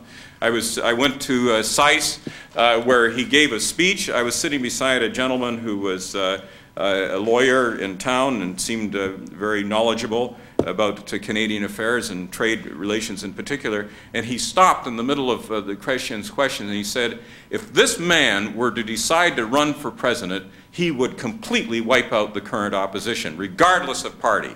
Why? Because he was asked questions that came from absolutely nowhere, and he had a, a, totally spontaneous, unprepared answer for every one of them. And the reason being, the reason why he had, he had this tremendous skill was standing under fire in precisely this situation now for, for over 20 years. This man has been exposed to this system, and his acuity as a result of that is the type of thing that we're looking for in, in our, the leaders that we want to be serving us in the future. You should come to our town hall meetings. Actually, those answers are practiced. Uh, Mr. Sundquist. Thank you. I, in terms of the question period being a means for Congress to get information that it otherwise wouldn't get, I find, Thank you. in terms of uh, the question period being a means for the Congress to get information that it otherwise wouldn't get, I find myself in agreement with what Mr. Horton and you, Mr. Chairman, had to say earlier, that the results would be negligible. I cannot uh, imagine that, that very many questions would be raised that had not already been raised in other forums, primarily in committee and subcommittee hearings, and of course in the uh, media conferences that cabinet members uh, undergo. So the question and answer period would tend to be a repetition in summary form of uh, what is already on the public record in one way or another. In fact, uh, since questions are submitted in advance, if the uh, cabinet member wanted to evade a question that he had evaded in committee, uh, he would find uh, plenty of time to prepare a, a smooth and convincing uh, way of, of, avoiding the question. And as Mr. Schlesinger's comments pointed out, um, the first thing that a uh, member of parliament does in rising to the ministerial hierarchy is to learn how to give a smooth and effective evasion of an unpleasant question. Indeed, I think the cabinet member would, member would be very careful not to give information that he had denied to the committee, because if he had appeared, say, before Mr. Fascell's committee and had been unresponsive, then to be, to be responsive on the same point on the floor, um, with a question asked by some junior member not on the committee, he would only uh, serve to alienate to Mr. Fascell and, and the other members of that committee. So this would be a repetitive procedure that would give the Congress uh, virtually no information it doesn't already have, uh, except perhaps for the little local uh, uh, constituent-oriented questions that really don't deserve the attention of the full House of Representatives anyway. So the um, question period would have to be justified, it seems to me, for other reasons, and that would be uh, particularly the impact that the televis televised proceedings would have on the public at large. I tend to agree with the. Sykes that uh, the more that the public uh, gets to see the government in action, the better it is for all concerned. I think these proceedings would tend to be dignified, particularly since the resolution is, is widely, uh, wisely excuse me, written so that the, it's under the control of the majority and minority leaders. And the kind of questioning that uh, might prove embarrassing to, to the Congress um, would certainly be excluded.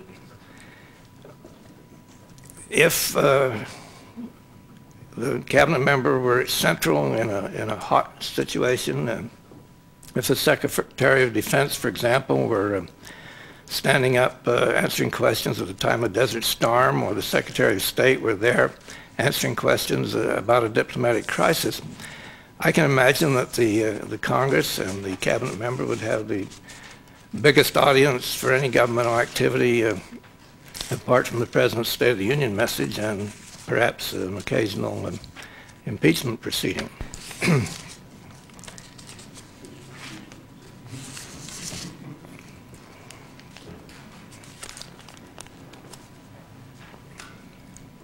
and while the um, proposal permits a follow-up question, the cabinet officer would always have the last word.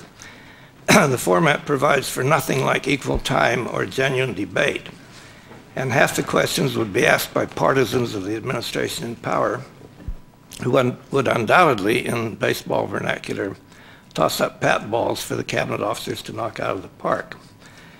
The question period would thus give the administration in power an extraordinary opportunity to score points in the national political debate before a national audience. At the present time, for example, whatever cabinet member was being questioned would no doubt be asked a friendly question that would enable him or her to reply with a powerful plea, plea for the president's economic program and perhaps to vigorously chastise the Congress for not having enacted it forthwith and as written. The process would thus reverse the relationship that now exists in committee hearings, where the legislative majority is always in control, can catch the witness off guard with unexpected questions, not submitted in advance, pursue their questioning at length, and have the final comment. That being the case, one wonders why the sponsors of this measure are not primarily from the party that stands to gain the most politically, that is, the party that controls the executive branch. I realize this proposal is not being presented in a partisan spirit, but the original sponsorship by 41 members of one party and no members of the other does not conform to the usual contours of a bipartisan effort. If I were a member of the current minority party in the Congress, I would be enthusiastically for H.R. 155. If I were a member of the majority and if I had any partisan instincts, they would lead me to be wary of it. However, not being either, I can give it a mild nonpartisan endorsement. I do not think the proposal would significantly improve communication between the branches or enhance the flow of information from downtown to Capitol Hill, and it cannot avoid the risk of degenerating into partisan bickering. But at best, it could prove constructive in attracting wide public attention to national issues, serve an important educational purpose, and increase the respect of the people for their government and its leaders. Moreover, I am in principle in favor of experimentation in the whole area of executive-legislative relationships in the hope that out of experimentation can evolve institutional devices and practices that may mitigate the debilitating degree of conflict, stalemate, and deadlock between the branches that seems inevitably to develop when the government is divided between the parties, with neither responsible or accountable to the people for results. The trial of the question period might lead, for instance, to further experimentation, such as converting the question and answer format to a debate, or permitting cabinet officers to participate regularly in floor consideration of legislation, as was seriously considered in the 19th century, or eliminating the incompatibility clause in the Constitution to permit members of the Congress to be appointed to executive branch positions without losing their seats. I, I couldn't agree more with what Mr. Beilenson and Mr. Cutler had to say about the the central problem being that of divided government, uh, the conflict, the stalemate, the, the deadlock, the, uh, the partisan maneuvering back and forth, the um, absence of responsibility and, and uh, accountability of the public uh, are questions that uh, I would hope if we get into something like the question period and get in a mood for considering and experimenting with other devices, uh, that, that question could be seriously tackled. I would hope that the committee that Mr. Solomon was talking about uh, might uh, have that as, as a uh, central piece of its agenda. Relations between the branches are bad enough that we ought to be considering a wide range of experiments, and the question period is as good a place as any to start. Thank you very much, Mr. Sundquist, and I apologize for not being in the room for the testimony. I had some people in the office. Uh, Mr. Beilenson? Just very briefly, Mr. Mr. Chairman. Um, the, the, our three witnesses were, each one of them, excellent, even though their points of view were, were somewhat, somewhat uh, different. They were very thoughtful, very reasonable, and uh, in this gentleman's opinion, very helpful to, to the to this uh, committee. In, fact, I frankly I wish, wish we'd had you all on earlier so we could have spent more time talking to you about not only this, but some other things that some of you have, have mentioned. However, it is late, and you all were very clear in the points you made, and as I just said, they were very reasonable and well, well thought out, and so I don't really have any questions I need to ask, uh, ask Mr. Chairman, except to say again that uh, these, th these three these two gentlemen and this, and this woman were excellent, excellent witnesses, I thought, and very helpful to the committee. And thank you. Thank you. Solomon? Well, Mr. Chairman, um, because of the time constraints, let me, uh, perhaps if the witnesses would not mind, uh, we could submit questions to them uh, at a later time and uh, perhaps get some pertinent uh, answers to them. I, if they don't object, I would ask that unanimous request. Without objection. Um, and uh, let me just make a couple of brief remarks um, to Professor Sykes you say the Republicans might consider a possible uh, Democrat president. Uh, and I think uh, Colin Campbell, uh, Professor Campbell, uh, alluded to that too. Um, I don't think there's any chance chance of that. Uh, of American people are not going to turn, I don't believe, the the government over to one party, especially considering all these things that are happening. But let- and uh, let me That's, just, that's an unbiased statement, of course. I want you know. I was just going to add, I also said there would be a Republican House of Representatives. So uh-huh, well, you know, in a speech I made the other night, I said maybe they ought to throw all of us out because then we Republicans would come back with a 101 vote majority. So maybe that would be, uh, would be nice. But let me, uh, uh, let me just say uh, that Professor Campbell uh, men- mentioned that members should not worry about the, uh, the question period being turned against them. And uh, they don't, uh, doesn't what worries members. Uh, Most of us really would relish it. I, for one, I really enjoy sometimes the give and take. And, uh, and it, and it, and it, so I don't worry about that. Uh, Our concern is that it will impede, impede this body. And that's what I want to submit to both, uh, all three of you in the question period, because um, I am one of the sponsors of the legislation for Mr. Hamilton and Mr. Gradison, and I have my own bill which would set up a, um, a bipartisan, nonpartisan uh, task force made up not just of members of Congress, but uh, perhaps former members of Congress. Because we find that uh, once members have served here, and now they're no longer here, they, they don't have those fiefdoms we've talked about to protect. And their views change considerably. And you see that uh, with, with all kinds of uh, former members making statements in support of various legislation. And that's what I would hope, because, uh, again, we have so many subcommittees and, and joint committees and select committees, and the system just does not function, believe me. And that's why I really would, uh, would hope that we would have, have your input, uh, you know, on, that subject. Um, the um, question of debate uh, skills has, has been brought up. And um, again, I just wonder what would happen if this is carried to fruition uh, down the road over the years. Uh, what really would happen? And uh, uh, Professor Colin Campbell uh, is evidently a very good debater, I think, in his profession. Uh, he would be terrific on that floor. But uh, suppose he were debating um, a Lloyd Cutler who is a, a very low-key, quiet, tremendously capable individual. But how, how would that work out? And should we, would, should we carry this into the Supreme Court? Uh, should uh, uh, Sandra Day O'Connor not be uh, considered because she doesn't have a debating skill over someone else? I just, I just worry about all these things. And, uh, uh, but the main thing is that I, I feel that, as Mr. Cutler has said, and some of you have alluded to, that uh, maybe the American people needs to know how important it is for one party to control the, the uh, Congress and the White House for a four-year period so that that party could be held responsible. Now, they don't know. And what I'm afraid of is if we get into this, this kind of thing, it is further going to de- degrade this institution, and people are going to look worse on us than they do now.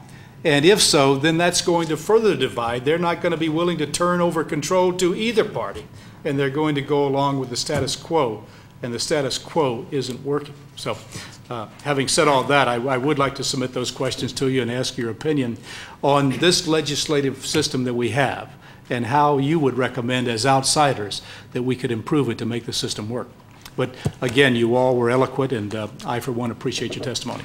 Thank you. Thank you, Ms. Sullivan. Mr. McHugh. Thank you, Mr. Chairman. Just two quick questions, if I may. Uh, Mr. Campbell, you mentioned about in the Canadian Parliament that it's very improper for cabinet members to respond by reading. Uh, Is, uh, that's unique to the Canadian? Well, the Australian House is very similar. Uh, They're, they're, they do come in with more props than they, than they do in the Canadian House, but uh, uh, generally, the most scripted uh, performance in question hour among parliamentary systems is what you saw there, uh, you know, in the British House. But, but in the British House, they are, cabinet members are, per- Yeah, sorry, yeah. In the British House, yes, they are um, permitted to read. Yes. Yes, okay, okay. And then, uh, I, I just find it novel, and I just want to touch it a little bit more, that, that you literally find a direct correlation between leadership skills and the capacity to articulate effectively on your own. Well, I think, uh, you know, very much part of uh, leadership is maintaining, maintaining a high degree, a high uh, sense, a, a strong sense of the response that uh, people are, are having about whatever it is that you have proposed or are advocating. And uh, I think one of the great problems with, uh, for instance, the Carter administration was that those dyna dyna dynamics were, were broken down. That uh, Okay, the administration stopped worrying about what type, how the public was responding to this Rube Goldberg machine, which was operating all through, you know, trying to perfect all forms of policy. And, and you know, basically, uh, I, I think that uh, the, the type, the reflexes of the type of person who, who uh, has been um, uh, brought along within this tradition are, are such that they, they recognize uh, almost instinctively uh, types of actions which are, are going to, which they, they themselves know are, they're not going to be able to But- but- defend or But somehow. glibness not, doesn't necessarily correlate with that either. Uh, One, one might assume that Mr. Reagan had a great feel for his audience. He could tell, he could handle an audience and feel an audience and Yeah. feel a people perhaps far better than the average politician. And yet, I don't think that spontaneous glibness was his Well, specialty. Yeah, but by the same token, look, where- look where the country ended up uh, 12 years later. Well, uh, you know, I mean, uh, Okay, okay. That, that, that, that- that was my point, Mr. Chairman. Uh, In a poll that was taken in 1984, in which they ask repeated questions, do you agree with Ronald Reagan on aid to the Contra, on equal rights amendment, on et cetera, et cetera, et cetera, all the way down? Do you agree with him on, on tax cuts? Do you agree with him on defense buildup? Do you agree with him on nuclear freeze? Oftentimes, people would disappear, uh, would, would not support him in vast numbers on those particular items. One question, very interesting. Do you consider President Reagan a leader? 85% of all Americans responded positively. Well, And I therefore, that directly correlated as to who they chose for that position. Well, And so what you said in your testimony, to which I wanted to probe slightly, and to which my response was absolutely correct to what I anticipated, is that you see a direct correlation between glibness and the capacity to respond spontaneously in a debating contest with the capacity to lead. And I just found it novel because it really has nothing to do with the topic before us. Thank you, Mr. Chairman. No, no, I, I, I, no, I, I think that, uh, that uh, what you. That- that doesn't have your to do formula- Your formula, your formulation, I think, is, uh, is interesting, but it's, it's, uh, it's really uh, uh, wide of the mark, because what I'm saying essentially is that if, if you had this mechanism, Mr. Reagan would not have been exposed, President Reagan would not have been exposed uh, to questions in the, in the House of Representatives, but members of his, of his administration would have. Let's let's do- and let's- therefore, the public generally uh, would have been much more aware of the consequences of the, of the various proposals and actions which the administration fine, were taking. fine, And they would have a much better scan of the, of the uh, aptitudes of these people to actually deliver upon the, the types of obligations and commitments which they, which The- they the- made. The further you Now, go, the well, further you go, the more off the, off the No, point. but no, we don't- Your we don't have political a position is interesting. Your political Yeah. position is interesting. Yeah, yeah. It doesn't respond to the point. And any well, I further applied it to the Carter administration as well, so fine. it has nothing to do with Okay, partisan Your politics. broadsides are appreciated. The point was, you made a direct correlation that Yeah. this person, because he was glib, would be a great president. No, no, I'm, I was just curious for, about that. For one person, I'm not a great fan of glibness.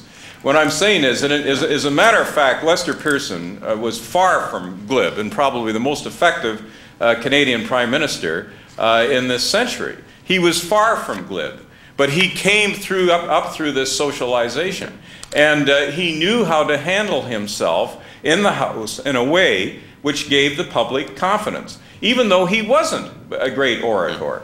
But they knew, he, he, facing the trial by fire on a day-to-day basis, the public found a comfort zone with that individual. But the individual was not living uh, in isolation in the White House. The individual then would have to, after leaving the floor of the House, had to go through a thing called the scrum. Fine, fine. And Gotcha. then, Thank you. you know- Neither the volume uh, nor, nor the decibels of the argument improves it significantly. Thank you very much. Thank you, Mr. Chairman. Thank you very much for coming, and we appreciate all the wonderful testimony you provide us with. Thank you.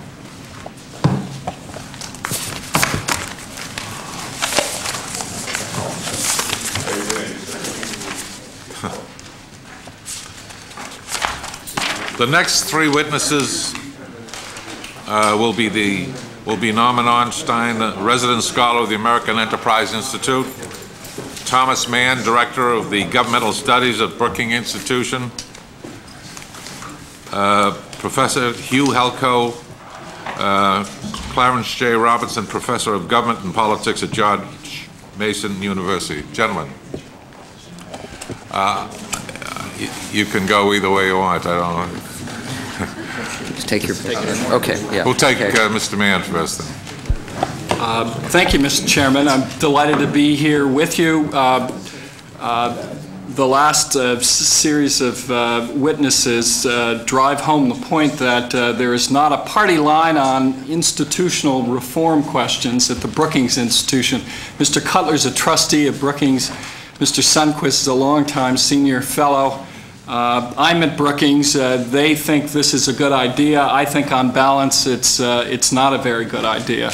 I say that finding myself usually in agreement with Mr. Gejdenson on matters pertaining to campaign finance and voter registration reform and a host of other things, but I think on this matter I, I'd like to associate myself with what I thought were the eloquent comments of Mr. Beilenson. Um, this wouldn't do much good, probably not much harm, but the bottom line is it's not related in any significant way to the problems that Congress confronts and that we confront uh, as a country.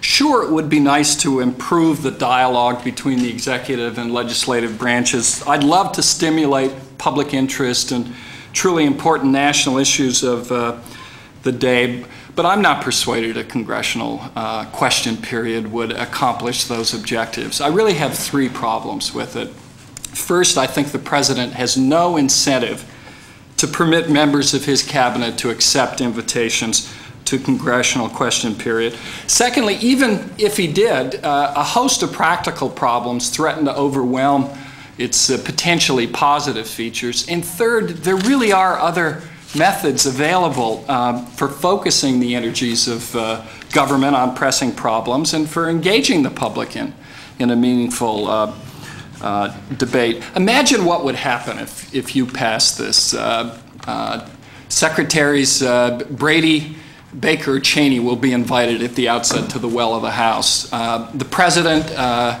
will instruct them not to accept the invitation, at which point uh, you all will issue a broadside that uh, the President and his cabinet, his administration are avoiding the truly important problems confronting the country. Uh, another episode in the ongoing partisan warfare between the country. The, the fact is, question period reflects the weakness of Parliament, not its strength. The President, the Prime Minister, and his cabinet are creatures of the Parliament. They have to make themselves available. But this is neither an opportunity for parliamentary uh, influence or control nor an occasion for a productive dialogue uh, between the branches. I think careful observers uh, agree that it, it usually or oftentimes deteriorates into bitter exchanges, fiercely combative, highly charged, and acrimonious. This is a time for point seeking and uh, in political uh, gamesmanship. It's true in the Canadian House of Parliament. Commons as well as the, the British House. It's, it's basically an opportunity to uh, embarrass the government. Wonderful theater at times, but very little of consequence uh, flowing from it. I mean, given that presidents know what the experience is in parliamentary systems, why in the world would they subject themselves uh, to this? Why would an executive in a separation of power system submit to this highly visible questioning by the legislature, especially when that legislature is likely to be controlled by the, by the other party? Uh, I think presidents face highly independent powerful Congresses with substantial weapons, real weapons, budgetary, lawmaking, uh, subpoena powers, confirmation powers. Why subject himself to, uh, to the possibility of indignity, uh, uh throwing his members uh, of the cabinet to the lions? It seems to me, under the best of circumstances, this is a bad fit, a question period with the separation of power systems. But under divided government, and we've all agreed divided government is a real problem today, uh, it seems to me it would reinforce the system's worst features. That means partisan bickering and posturing, blame avoidance, right? It's the other guy who did it, stalemate, and most importantly, the triumph of appearances over outcomes. Uh, our government is consumed with looking right, uh, and we have too little attention to outcomes. And it seems to me this would neither promote a interbranch cooperation and trust that you need if you want to govern under divided government, nor would it clarify for the public, and this is a point uh, Mr. Cutler and Mr. Sundquist were dealing with, it would not clarify for the public the cost uh, of divided bar, uh, government, nor would it, would it make clear the benefits of unified party control. I don't think any such public education would, uh, would result. So, uh, second reason, it's not going to provide backbench members with any real opportunity to question cabinet members. You, have got one question period, two hour a month. That means each cabinet member will get up here roughly once a year. Um, are two hours. Each question could take seven and a half minutes with a follow-up. A little arithmetic reveals there's time for as few as eight questions from each side of the aisle. That doesn't give members an uh, an opportunity. They have much greater opportunity now to question uh, cabinet members through the uh, committee system. Nor does it offer much promise of a meaningful debate on national health insurance or competitiveness, inner city poverty. Think about it. You've got a series of, of 16 discrete questions. Uh, this is not the occasion to produce a meaningful debate. The reality is question periods are highly stylized they're staged. Um, and they are much more likely to produce a contentious, partisan, and disjointed uh, performance than Mr. Gejdenson would hope uh, and, and genuinely relish. Three suggestions for alternatives to this. Uh, uh, the first is let the, let the Congress go forward on its own to replace special orders with a congressional uh, debate time. Why not set up a debate between the majority and minority party uh, as often as you would like and focus it on a single issue and bring your best debaters forward. The country will pay some attention to it. Second, uh, it, by the way, this would directly counter the charge that House Democrats are merely trying to embarrass a Republican president. Uh, second, it, it seems to me, look at your own present organization procedures to see how you can better deal with new problems and how you can avoid the problems of exacerbating tensions between the branches. Uh, you might look at, for example, joint hearings uh, at which cabinet members appear so that instead of being nickeled and dimed to death and subcommittee after subcommittee, they make major appearances before a substantial number of, uh, of members uh, and committees. I frankly think that the resolution introduced by uh, Mr. Hamilton um, and Mr. Gradison uh, offers the most promising vehicle for a whole-scale examination of the problems of internal organization. The final point that I end on, the majority party has a special responsibility in this system. It's particularly true under divided government to come up with, to identify its legislative program, and then to see to it that that program emerges from the committee system and is put forward on the floor. Uh, that's the that's the object be serious about what you want to accomplish and take what measures you need within the Democratic caucus to get it out of committee on the floor. Um, be concerned with real outcomes and not so much with debating points with the president. The time has come to sort of de-emphasize appearance and debate and put a little more emphasis on genuine accomplishments. Thank you, Mr. Chairman. Thank you very much.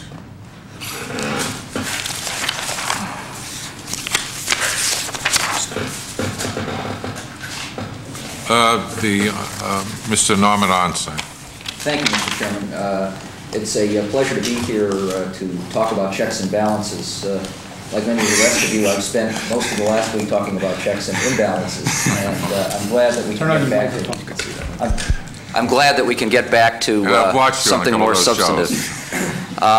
some of the shows that Mr. Beilenson had discussed earlier, I'm afraid.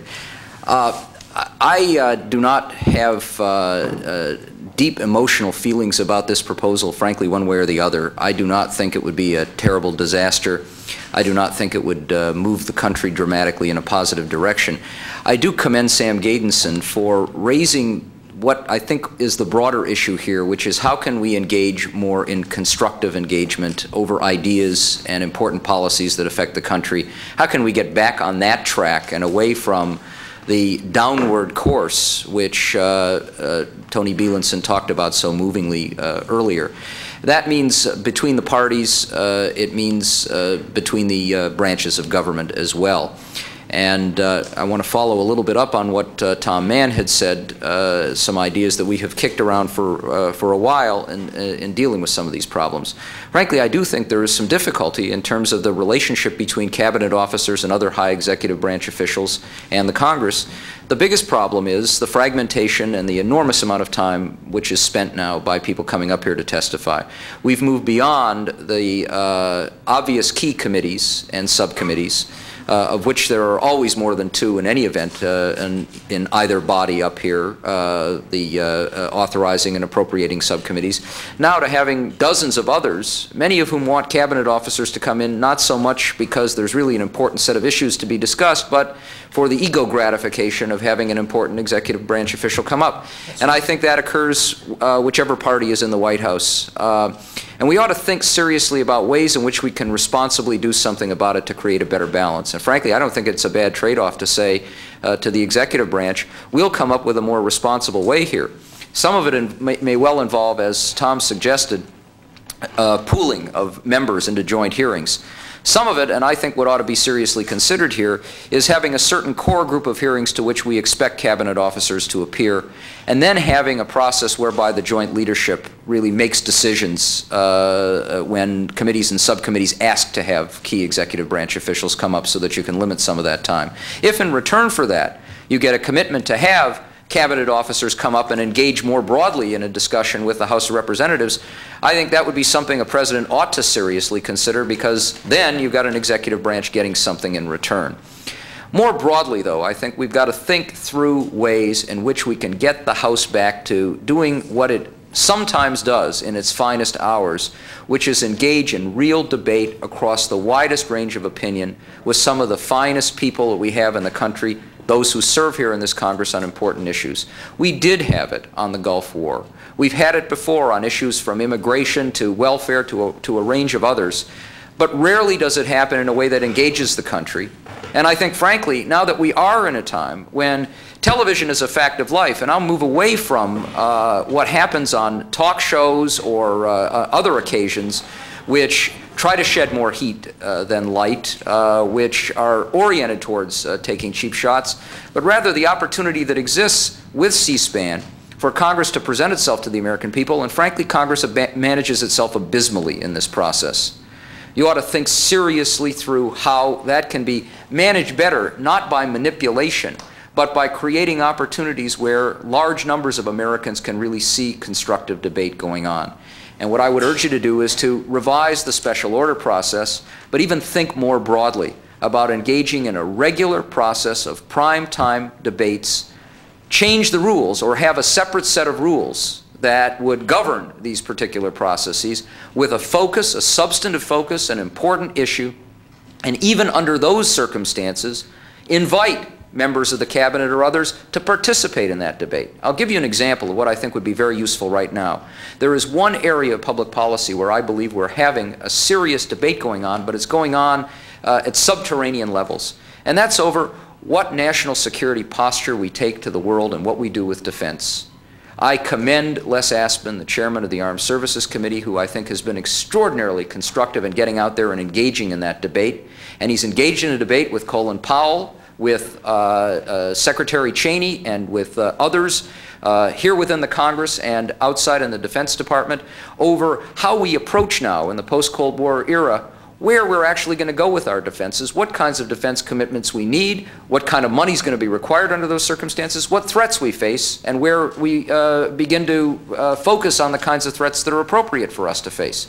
I would love to see a two or three hour debate, or maybe even a couple of them, in prime time, with all the people and some of the best people in this institution who have thought about these issues on the floor talking about what role America plays in the post-Cold War period and what that means in terms of the defense commitments that we have.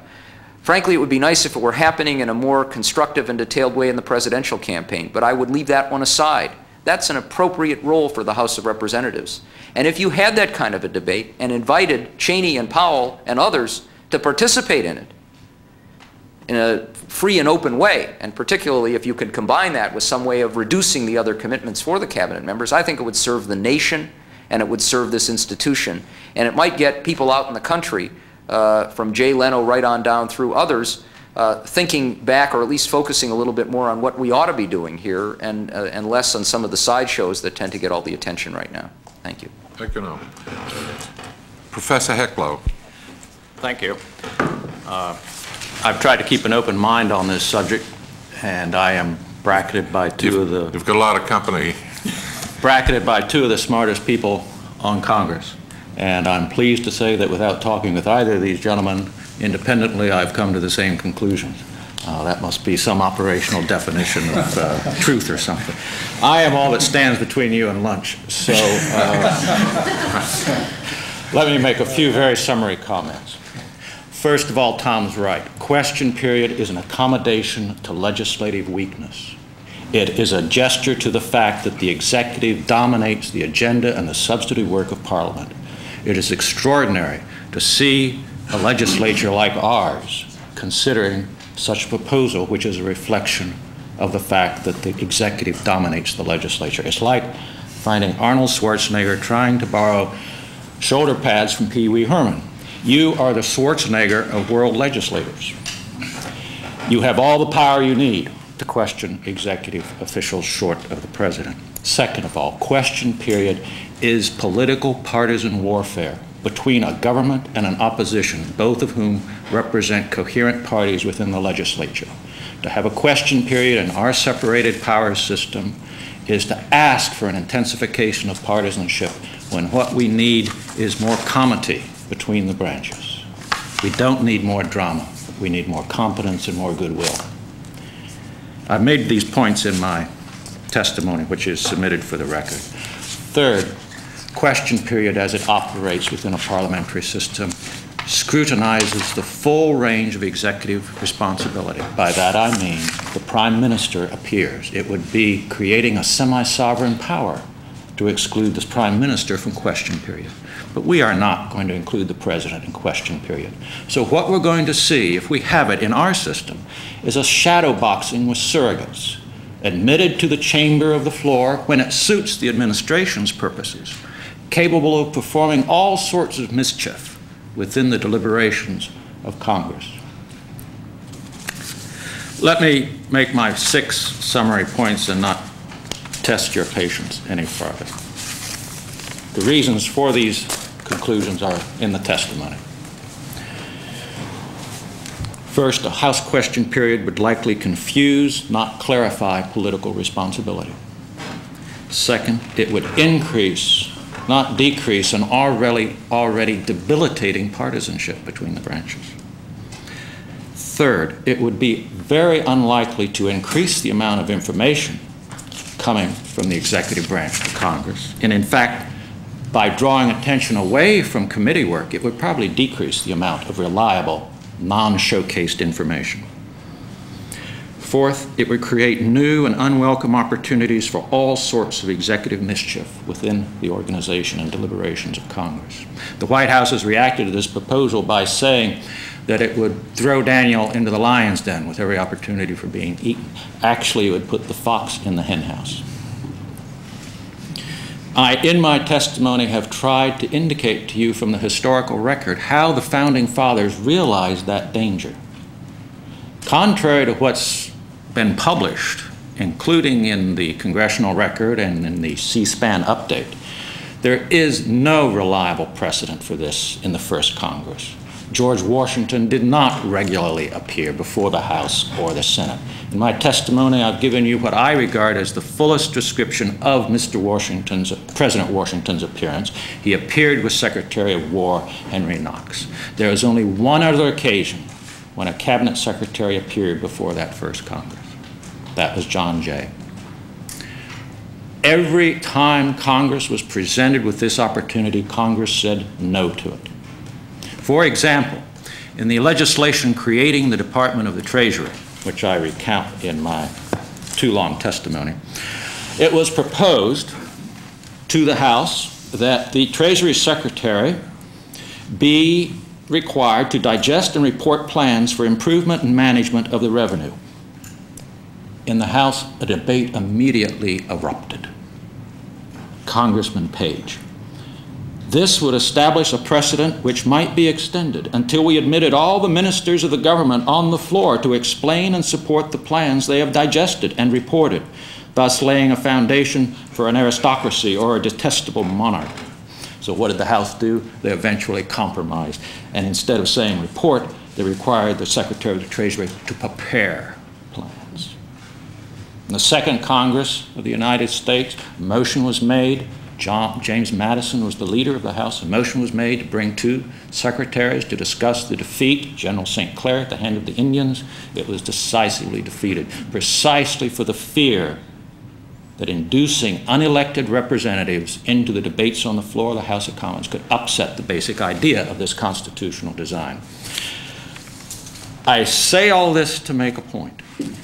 My final conclusion is that a question period would compromise the integrity of the House floor as a forum for debate among the people's representatives. What I'm going to say, I think, is going to sound corny to any of you that have watched a congressional debate, including debates televised on C-SPAN. But I'll say it anyway. The floors of the House and the Senate, these great and often underpopulated rooms, are the institutional shrine of our form of government. They are the embodiment of the master idea behind this design. And that idea is government by discussion. Over the years, Congress has evolved all sorts of subordinate organs to allow executive officials to take part in the lawmaking process. But ultimately, before the Senate, before the House of Representatives as a whole, government by discussion can be legitimately carried out only by the elected representatives of the people. The floor of the Congress is no place for unelected presidential appointees to be sharing in the debate among the people's representatives. So,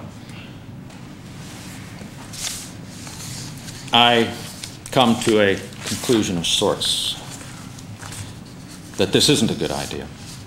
And indeed, as my colleagues say, there is much more important work to be done here. The words I heard we are smothering our form of government. Our institution is committing suicide. I heard those words not from some campus radicals that I might have listened to in the 60s.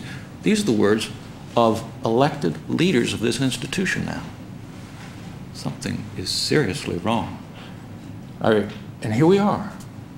We've defeated all our foreign enemies.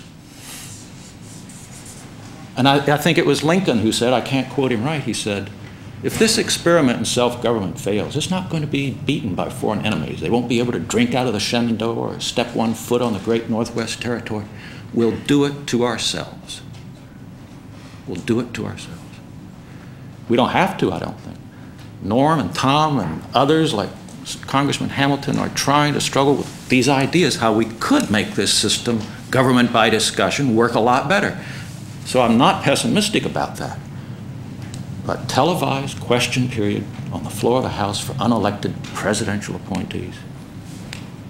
No, that's not what we need.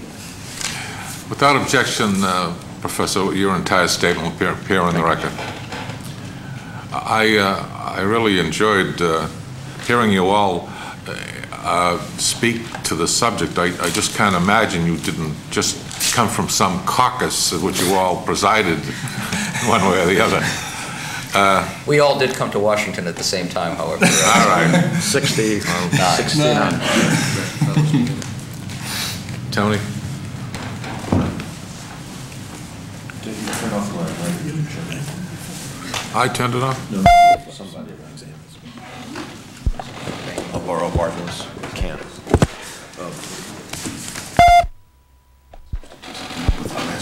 There I am. This was, as I don't need to say, Mr. Chairman, this was another truly excellent panel, and I'd like, if I may, to congratulate our chairman for, for having invited such a splendid, superb group of, of people to, to testify today. Again, I don't have much to, to offer. I mean, the hour is late, and these gentlemen all made their points pretty, you know, quite obviously and quite well. Uh, let me just let me just speak about one point, which which Professor Heclo came back to. Mr. Sundquist had mentioned earlier. Um, Tom Mann mentioned in his prepared testimony a little bit more at greater length than he did in, in his oral testimony. But let me just read you something from um, a couple of pieces of testimony, prepared testimony here from Mr. Sundquist to begin with. Although he, I guess he came down sort of generally semi-favorably about the about the prospects or the idea of a question period. He said, I would enter, and this is the first page of his prepared testimony, I would enter a strong reservation as to the pertinence of the parliamentary experience to our concerns. Those are countries where the cabinet members not only sit in the parliament but serve as its leaders, where backbenchers have a very limited role and little influence, and where legislative committees have not developed as oversight bodies. Thus, the question period is revolved as a kind of oversight device in which legislators who are not in the executive branch have an opportunity to participate, and it thus serves as a substitute, and a relatively unsatisfactory one, I believe, for the far more extensive and intensive oversight that's carried out by the elaborate structure of committees and subcommittees in the U.S. House and the Senate. Mr. Mann said, um, and Professor Heclo made this point very, very strongly and alluded again, to, I think, to Tom Mann's testimony.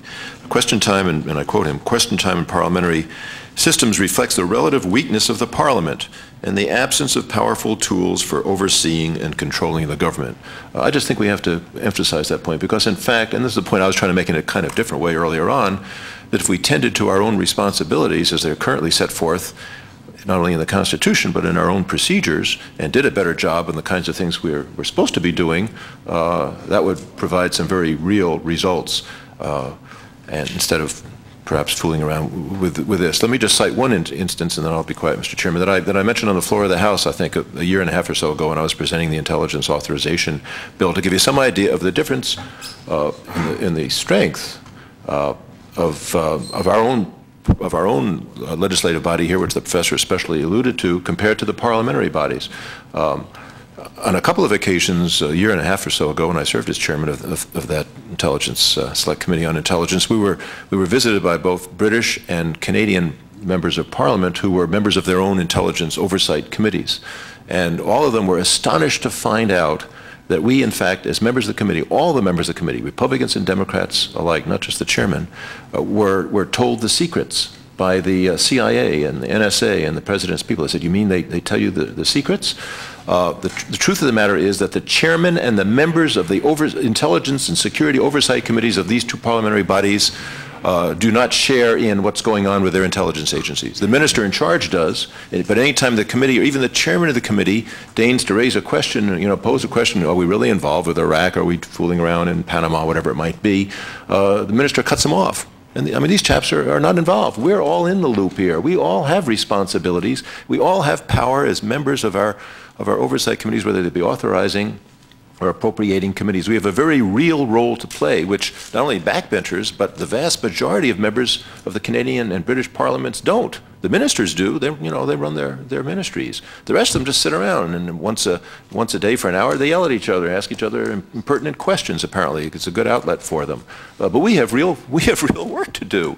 And uh, you know, when the time comes, if we fix, if we've done our, if we start doing our own job really well and do our own work really well, and and decide that uh, we need an extra hour or so a month or two hours a month to ask the cabinet people some questions that would help our work, well, then, then we can talk about it. But you know, we've got some homework to do first. It seems to me ourselves. Thank you, Mr. Williamson. Mr. Solomon. Mr. Chairman, so we can uh, be brief, and I know you're hungry as we are. Uh, I'm sure none of you would mind uh, if we submitted questions to you for the uh, for the permanent record, uh, and we'll do so with unanimous consent. Without objection. And uh, uh, Mr. Heclo, you said that we've defeated all of our enemies, except us, and sometimes we we seem to be our own worst enemy. And I talk about that because. Mr. Ornstein, you brought out the point that um, we waste so much time and you talked about if this was an effect that we would uh, that cabinet members who already spend an inordinate amount of time appearing before not only major committees on major issues, but uh, uh, before minor committees on uh, practically non-existent issues just to feed the ego of members of Congress, and you just are so absolutely right. As a matter of fact, um, and I know all of you observed the workings of the Congress in, uh, in this uh, session, and uh, most of the major legislation that has come out of this Congress in this uh, 102nd Congress has bypassed the committees of jurisdiction. When you look at the banking reform, when you look at the crime bill, uh, the defense bill, all of these things, in other words, we are so bogged down with this, this uh, system that we have to operate under, it just does not work. And so often, uh, uh, subcommittee chairmen can block major legislation because of all this sequential referral where uh, drug bills are referred to five different committees. They never see the light of day unless uh, you want to bypass the system and write, rewrite the legislation in some back room somewhere, which is what uh, we do all too often. But uh, I was just I won't repeat uh, my experiences in the NATO Assembly uh, with what members of the British and Canadian Parliament think about this question and answer period. But uh, Tom Mann said it, uh, it would further denigrate this Congress in the eyes of the American people. And, uh, and we are already denigrated to a point. It's, yeah, because they don't see us as a, as a functioning body. And I think that the recommendations made by, I believe, all three of you, that uh, we might uh, uh, replace the, uh, this wasted special order session out there. We have two tremendously wasteful sessions in the Congress. One is the one-minute sessions that we have where we, we do our own little uh, question and answer thing where one Democrat stands up and he will bash the president and then some Republican will get up and he'll bash and it goes back and forth for a, an hour, sometimes two hours before we get around to the, to the real functioning of what we were there to do. And that's a total waste of time. Special orders. When C-SPAN plays and the American people watch uh, after the, we've done with our business and they see some uh, congressman uh, up there orating uh, to an empty house about nothing, uh, that's a terrible waste of time. Except for mine. Except for yours, yeah. but, uh, you know, if we could devote this time to, to meaningful dialogue and debate on certain times, I think that's a great suggestion. That's what I'm hopeful will come out of the Hamilton-Gradison and, uh, and my legislation, where we could rewrite the rules of this House so that the committees could function. Select committees. We have a select committee on narcotics abuse. Select committees are, are formed to uh, deal with one question. And when that question is over, then they disband that select committee. I've been here 14 years. I don't know of one select committee that's ever been disbanded. And not only has it not been disbanded, but it continues to grow and grow and grow. And the number of employees continue to grow and grow and grow. And that's what's wrong with our system. That's why we desperately need a task force to look into our committee system and not headed by members of Congress because of our, our protection of our fiefdoms because we aren't going to do the job. We need to do it with outsiders and insiders in the Congress if we're going to be successful. So I've got a lot of questions, but I'll submit them to you and hope that you will give us your answers. And if I could just make one uh, comment, uh, Mr. Solomon. Uh, at the moment, uh, Tom Mann and I are beginning a process of uh, heading up an effort with, uh, we hope, outside funding by foundations to do an independent and nonpartisan look at this institution that we hope will be of use to uh, whatever product emerges uh, from the Hamilton-Gradison effort or any others uh, down the road uh, that we hope to pursue through the next year to 18 months. Let me tell you, that could be the greatest contribution to this body. Uh, when I first came here in 1979, I was put on a, a committee on committees to, to study the committee system. And uh, we had, uh, I think it was a Democrat from California, young Jerry Patterson. Jerry Patterson, yes. And we served diligently and we worked and we put together and we came out and we, we showed all of these wasteful subcommittees and we brought this bill to the floor of Congress. And do you know what happened? Out of 435 members, we got 44 votes to reform the House because every subcommittee and every ranking Republican voted against it and only us few, and that only leaves about 45 of us back then when I was a freshman, have no fiefdom, so we voted for it. that would be a great contribution. I would like to work with you, and so would this committee. Tony Beilenson heads up the Subcommittee on Rules, and uh, uh, David, you're the uh, the ranking Republican. We'd love to uh, work with you. on if we don't work with them. Anyway, thanks for your uh, contribution. I appreciate it. Mr. Dreier. Thank you very much, Mr. Chairman. Let me uh, just say that the, uh, the work that all of you have done on uh, trying to bring about some kind of reform in this House, I believe, is very positive. You, over the weekend, Norm, on a couple of the programs, indicated that tremendous reform has taken place. And on one of them, you talked about the fact that there is uh, really uh, much less of a problem today than there has been in the past uh, especially in the area of corruption, I guess, I think is what you were trying to get at when we were talking about this check bouncing scandal. But it does seem to me that as we look at uh, the kinds of reforms which we on this side of the aisle think are necessary to try and bring about some kind of balance to the uh, process of representative government, the work that you're doing can play an integral role in making that happen if we can get people in the majority to in fact listen to it. Now, I'm not going to presuppose what it is that you are going to have as, as far as recommendations, but I suspect that any kind of change will in fact be opposed by some people in this House. Uh, you know, it, it really did take us a while to bring about the changes that we have seen take place. I mean, it took a scandal to close down a very poorly managed dispersing office downstairs. And uh, I hope very much that we don't have to have scandal after scandal for us to bring about the kinds of proposals for reform which I hope that, that you and Tom will have in your, in your uh, study.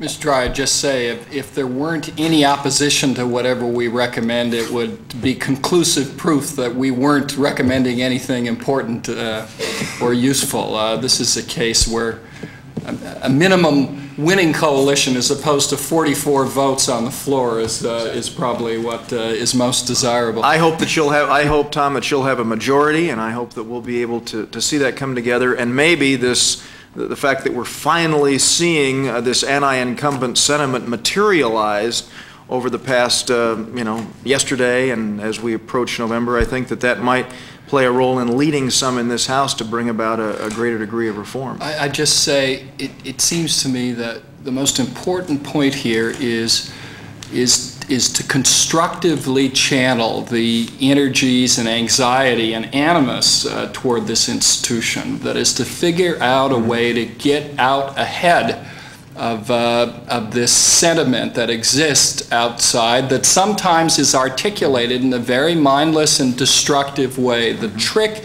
is to get in front of it and channel it in ways that will strengthen this institution. Hugh Heclo is absolutely right. This is an absolutely critical institution, essential to our functioning as a democracy. It is being diminished and demeaned, and, and we and you have to figure out uh, a way to restore its place. It should be strong. It should it should go with its comparative strengths and advantages. Uh, and uh, that's something I hope we can all contribute. Let me say that I think that it's it's uh, an interesting commentary, and I'm happy that the three of you are here as panelists. But it's an interesting commentary that it took a proposal to establish a question period for cabinet members to get you all to come before us and actually talk about reform. Again, uh, it was it was really uh, insistence on the part of Sam and, and some others to pursue this issue uh, that led us to get to the to the uh, issue of, of trying to bring about some kind of reform in this House. So, I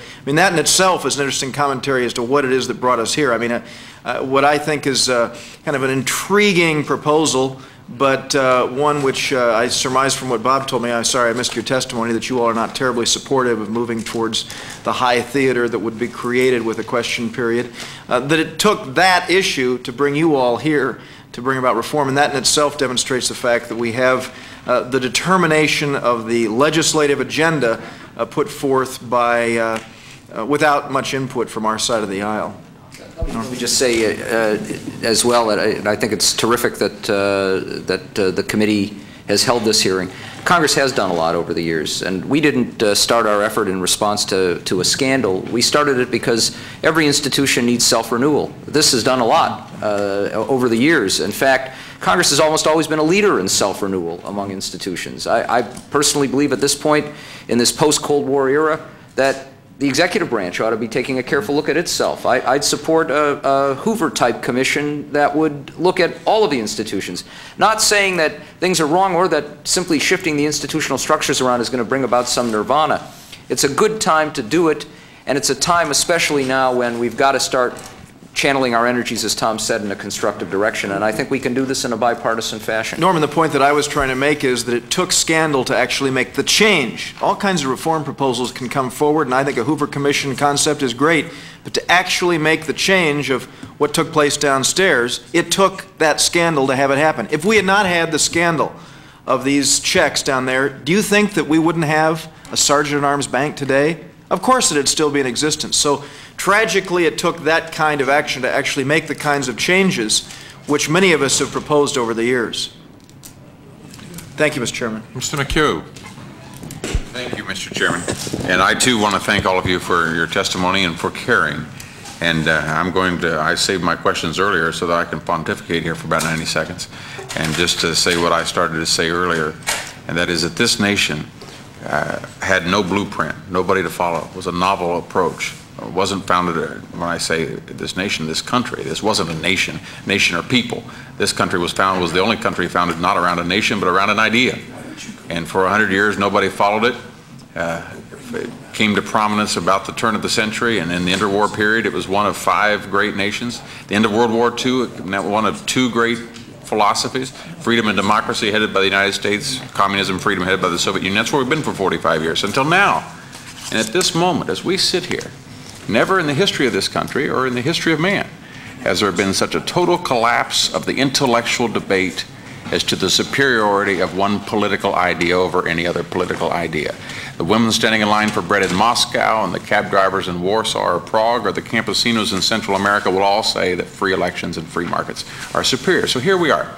Economically, America running far and away. Just a quick little figure about the, the fact that not only is America, uh, Japan would be our nearest competitors and we outproduce them far and away, but exports, American products sold abroad, we are by far the greatest exporter. If anyone were to catch us, their exports would have to grow more rapidly than ours. In the last six years, American exports have increased 100%, doubled, 96% increase.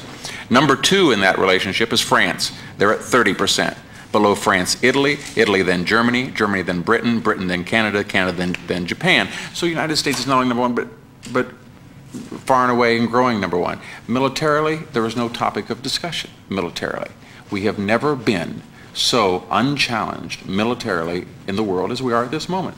Soviet Union has between 800,000 and a million men foraging in the forest for wild animals and fish in order to survive. They have 600,000 living in tents. So that's economically, militarily, geopolitically.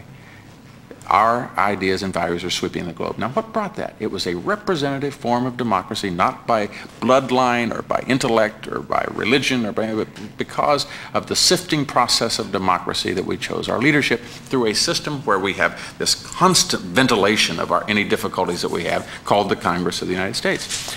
Now here we are at the pinnacle of power, that for which our forefathers dreamed and prayed, and at this moment when the whole world is looking to us for leadership and help and advice, we are in the process of saying, oh, how rotten and awful everything is. And you, Norman, are, in my opinion, the single greatest defender and spokesman for our way of life in the last month of anybody in this country while everyone else has been diving under the chairs and, and under the under the tables and refusing and to be caught and all of us are like that because 99.9 uh, of anything that went on downstairs quote unquote uh, was insignificant in my mind. But the second you step out to try to explain it then they can always bring out one or two and then they say, now see, he's trying to defend that, and so everybody goes back in their hole. And so what? The average person, the average teenager, the average young person, the average college student, the average worker just says, yeah, that's right. This system of ours really is pretty rotten, isn't it? Because I hear it all day, every day. I pick up the newspaper, I listen to politicians, they're saying they're all corrupt. They say, they say politicians, the people we look up to, they're saying they're all corrupt. And the newspapers and radio stations says they're all corrupt. And you, Norman, have been willing to try to put this in perspective. And the whole point of all this is just to say thank you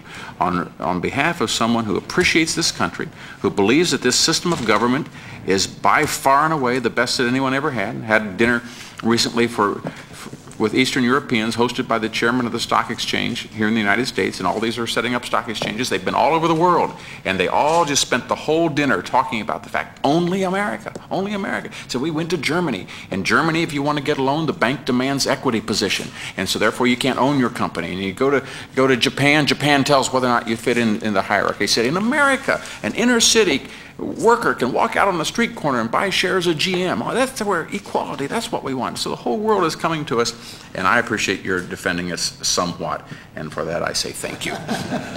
Well, actually, that's one speech that I agree with, that he's- he's- that Mr. McEwen has made.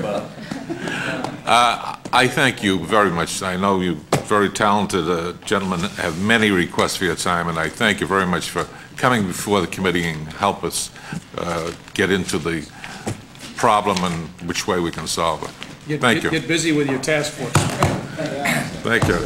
The uh, committee will stand in re- uh, recess subject to call of chair.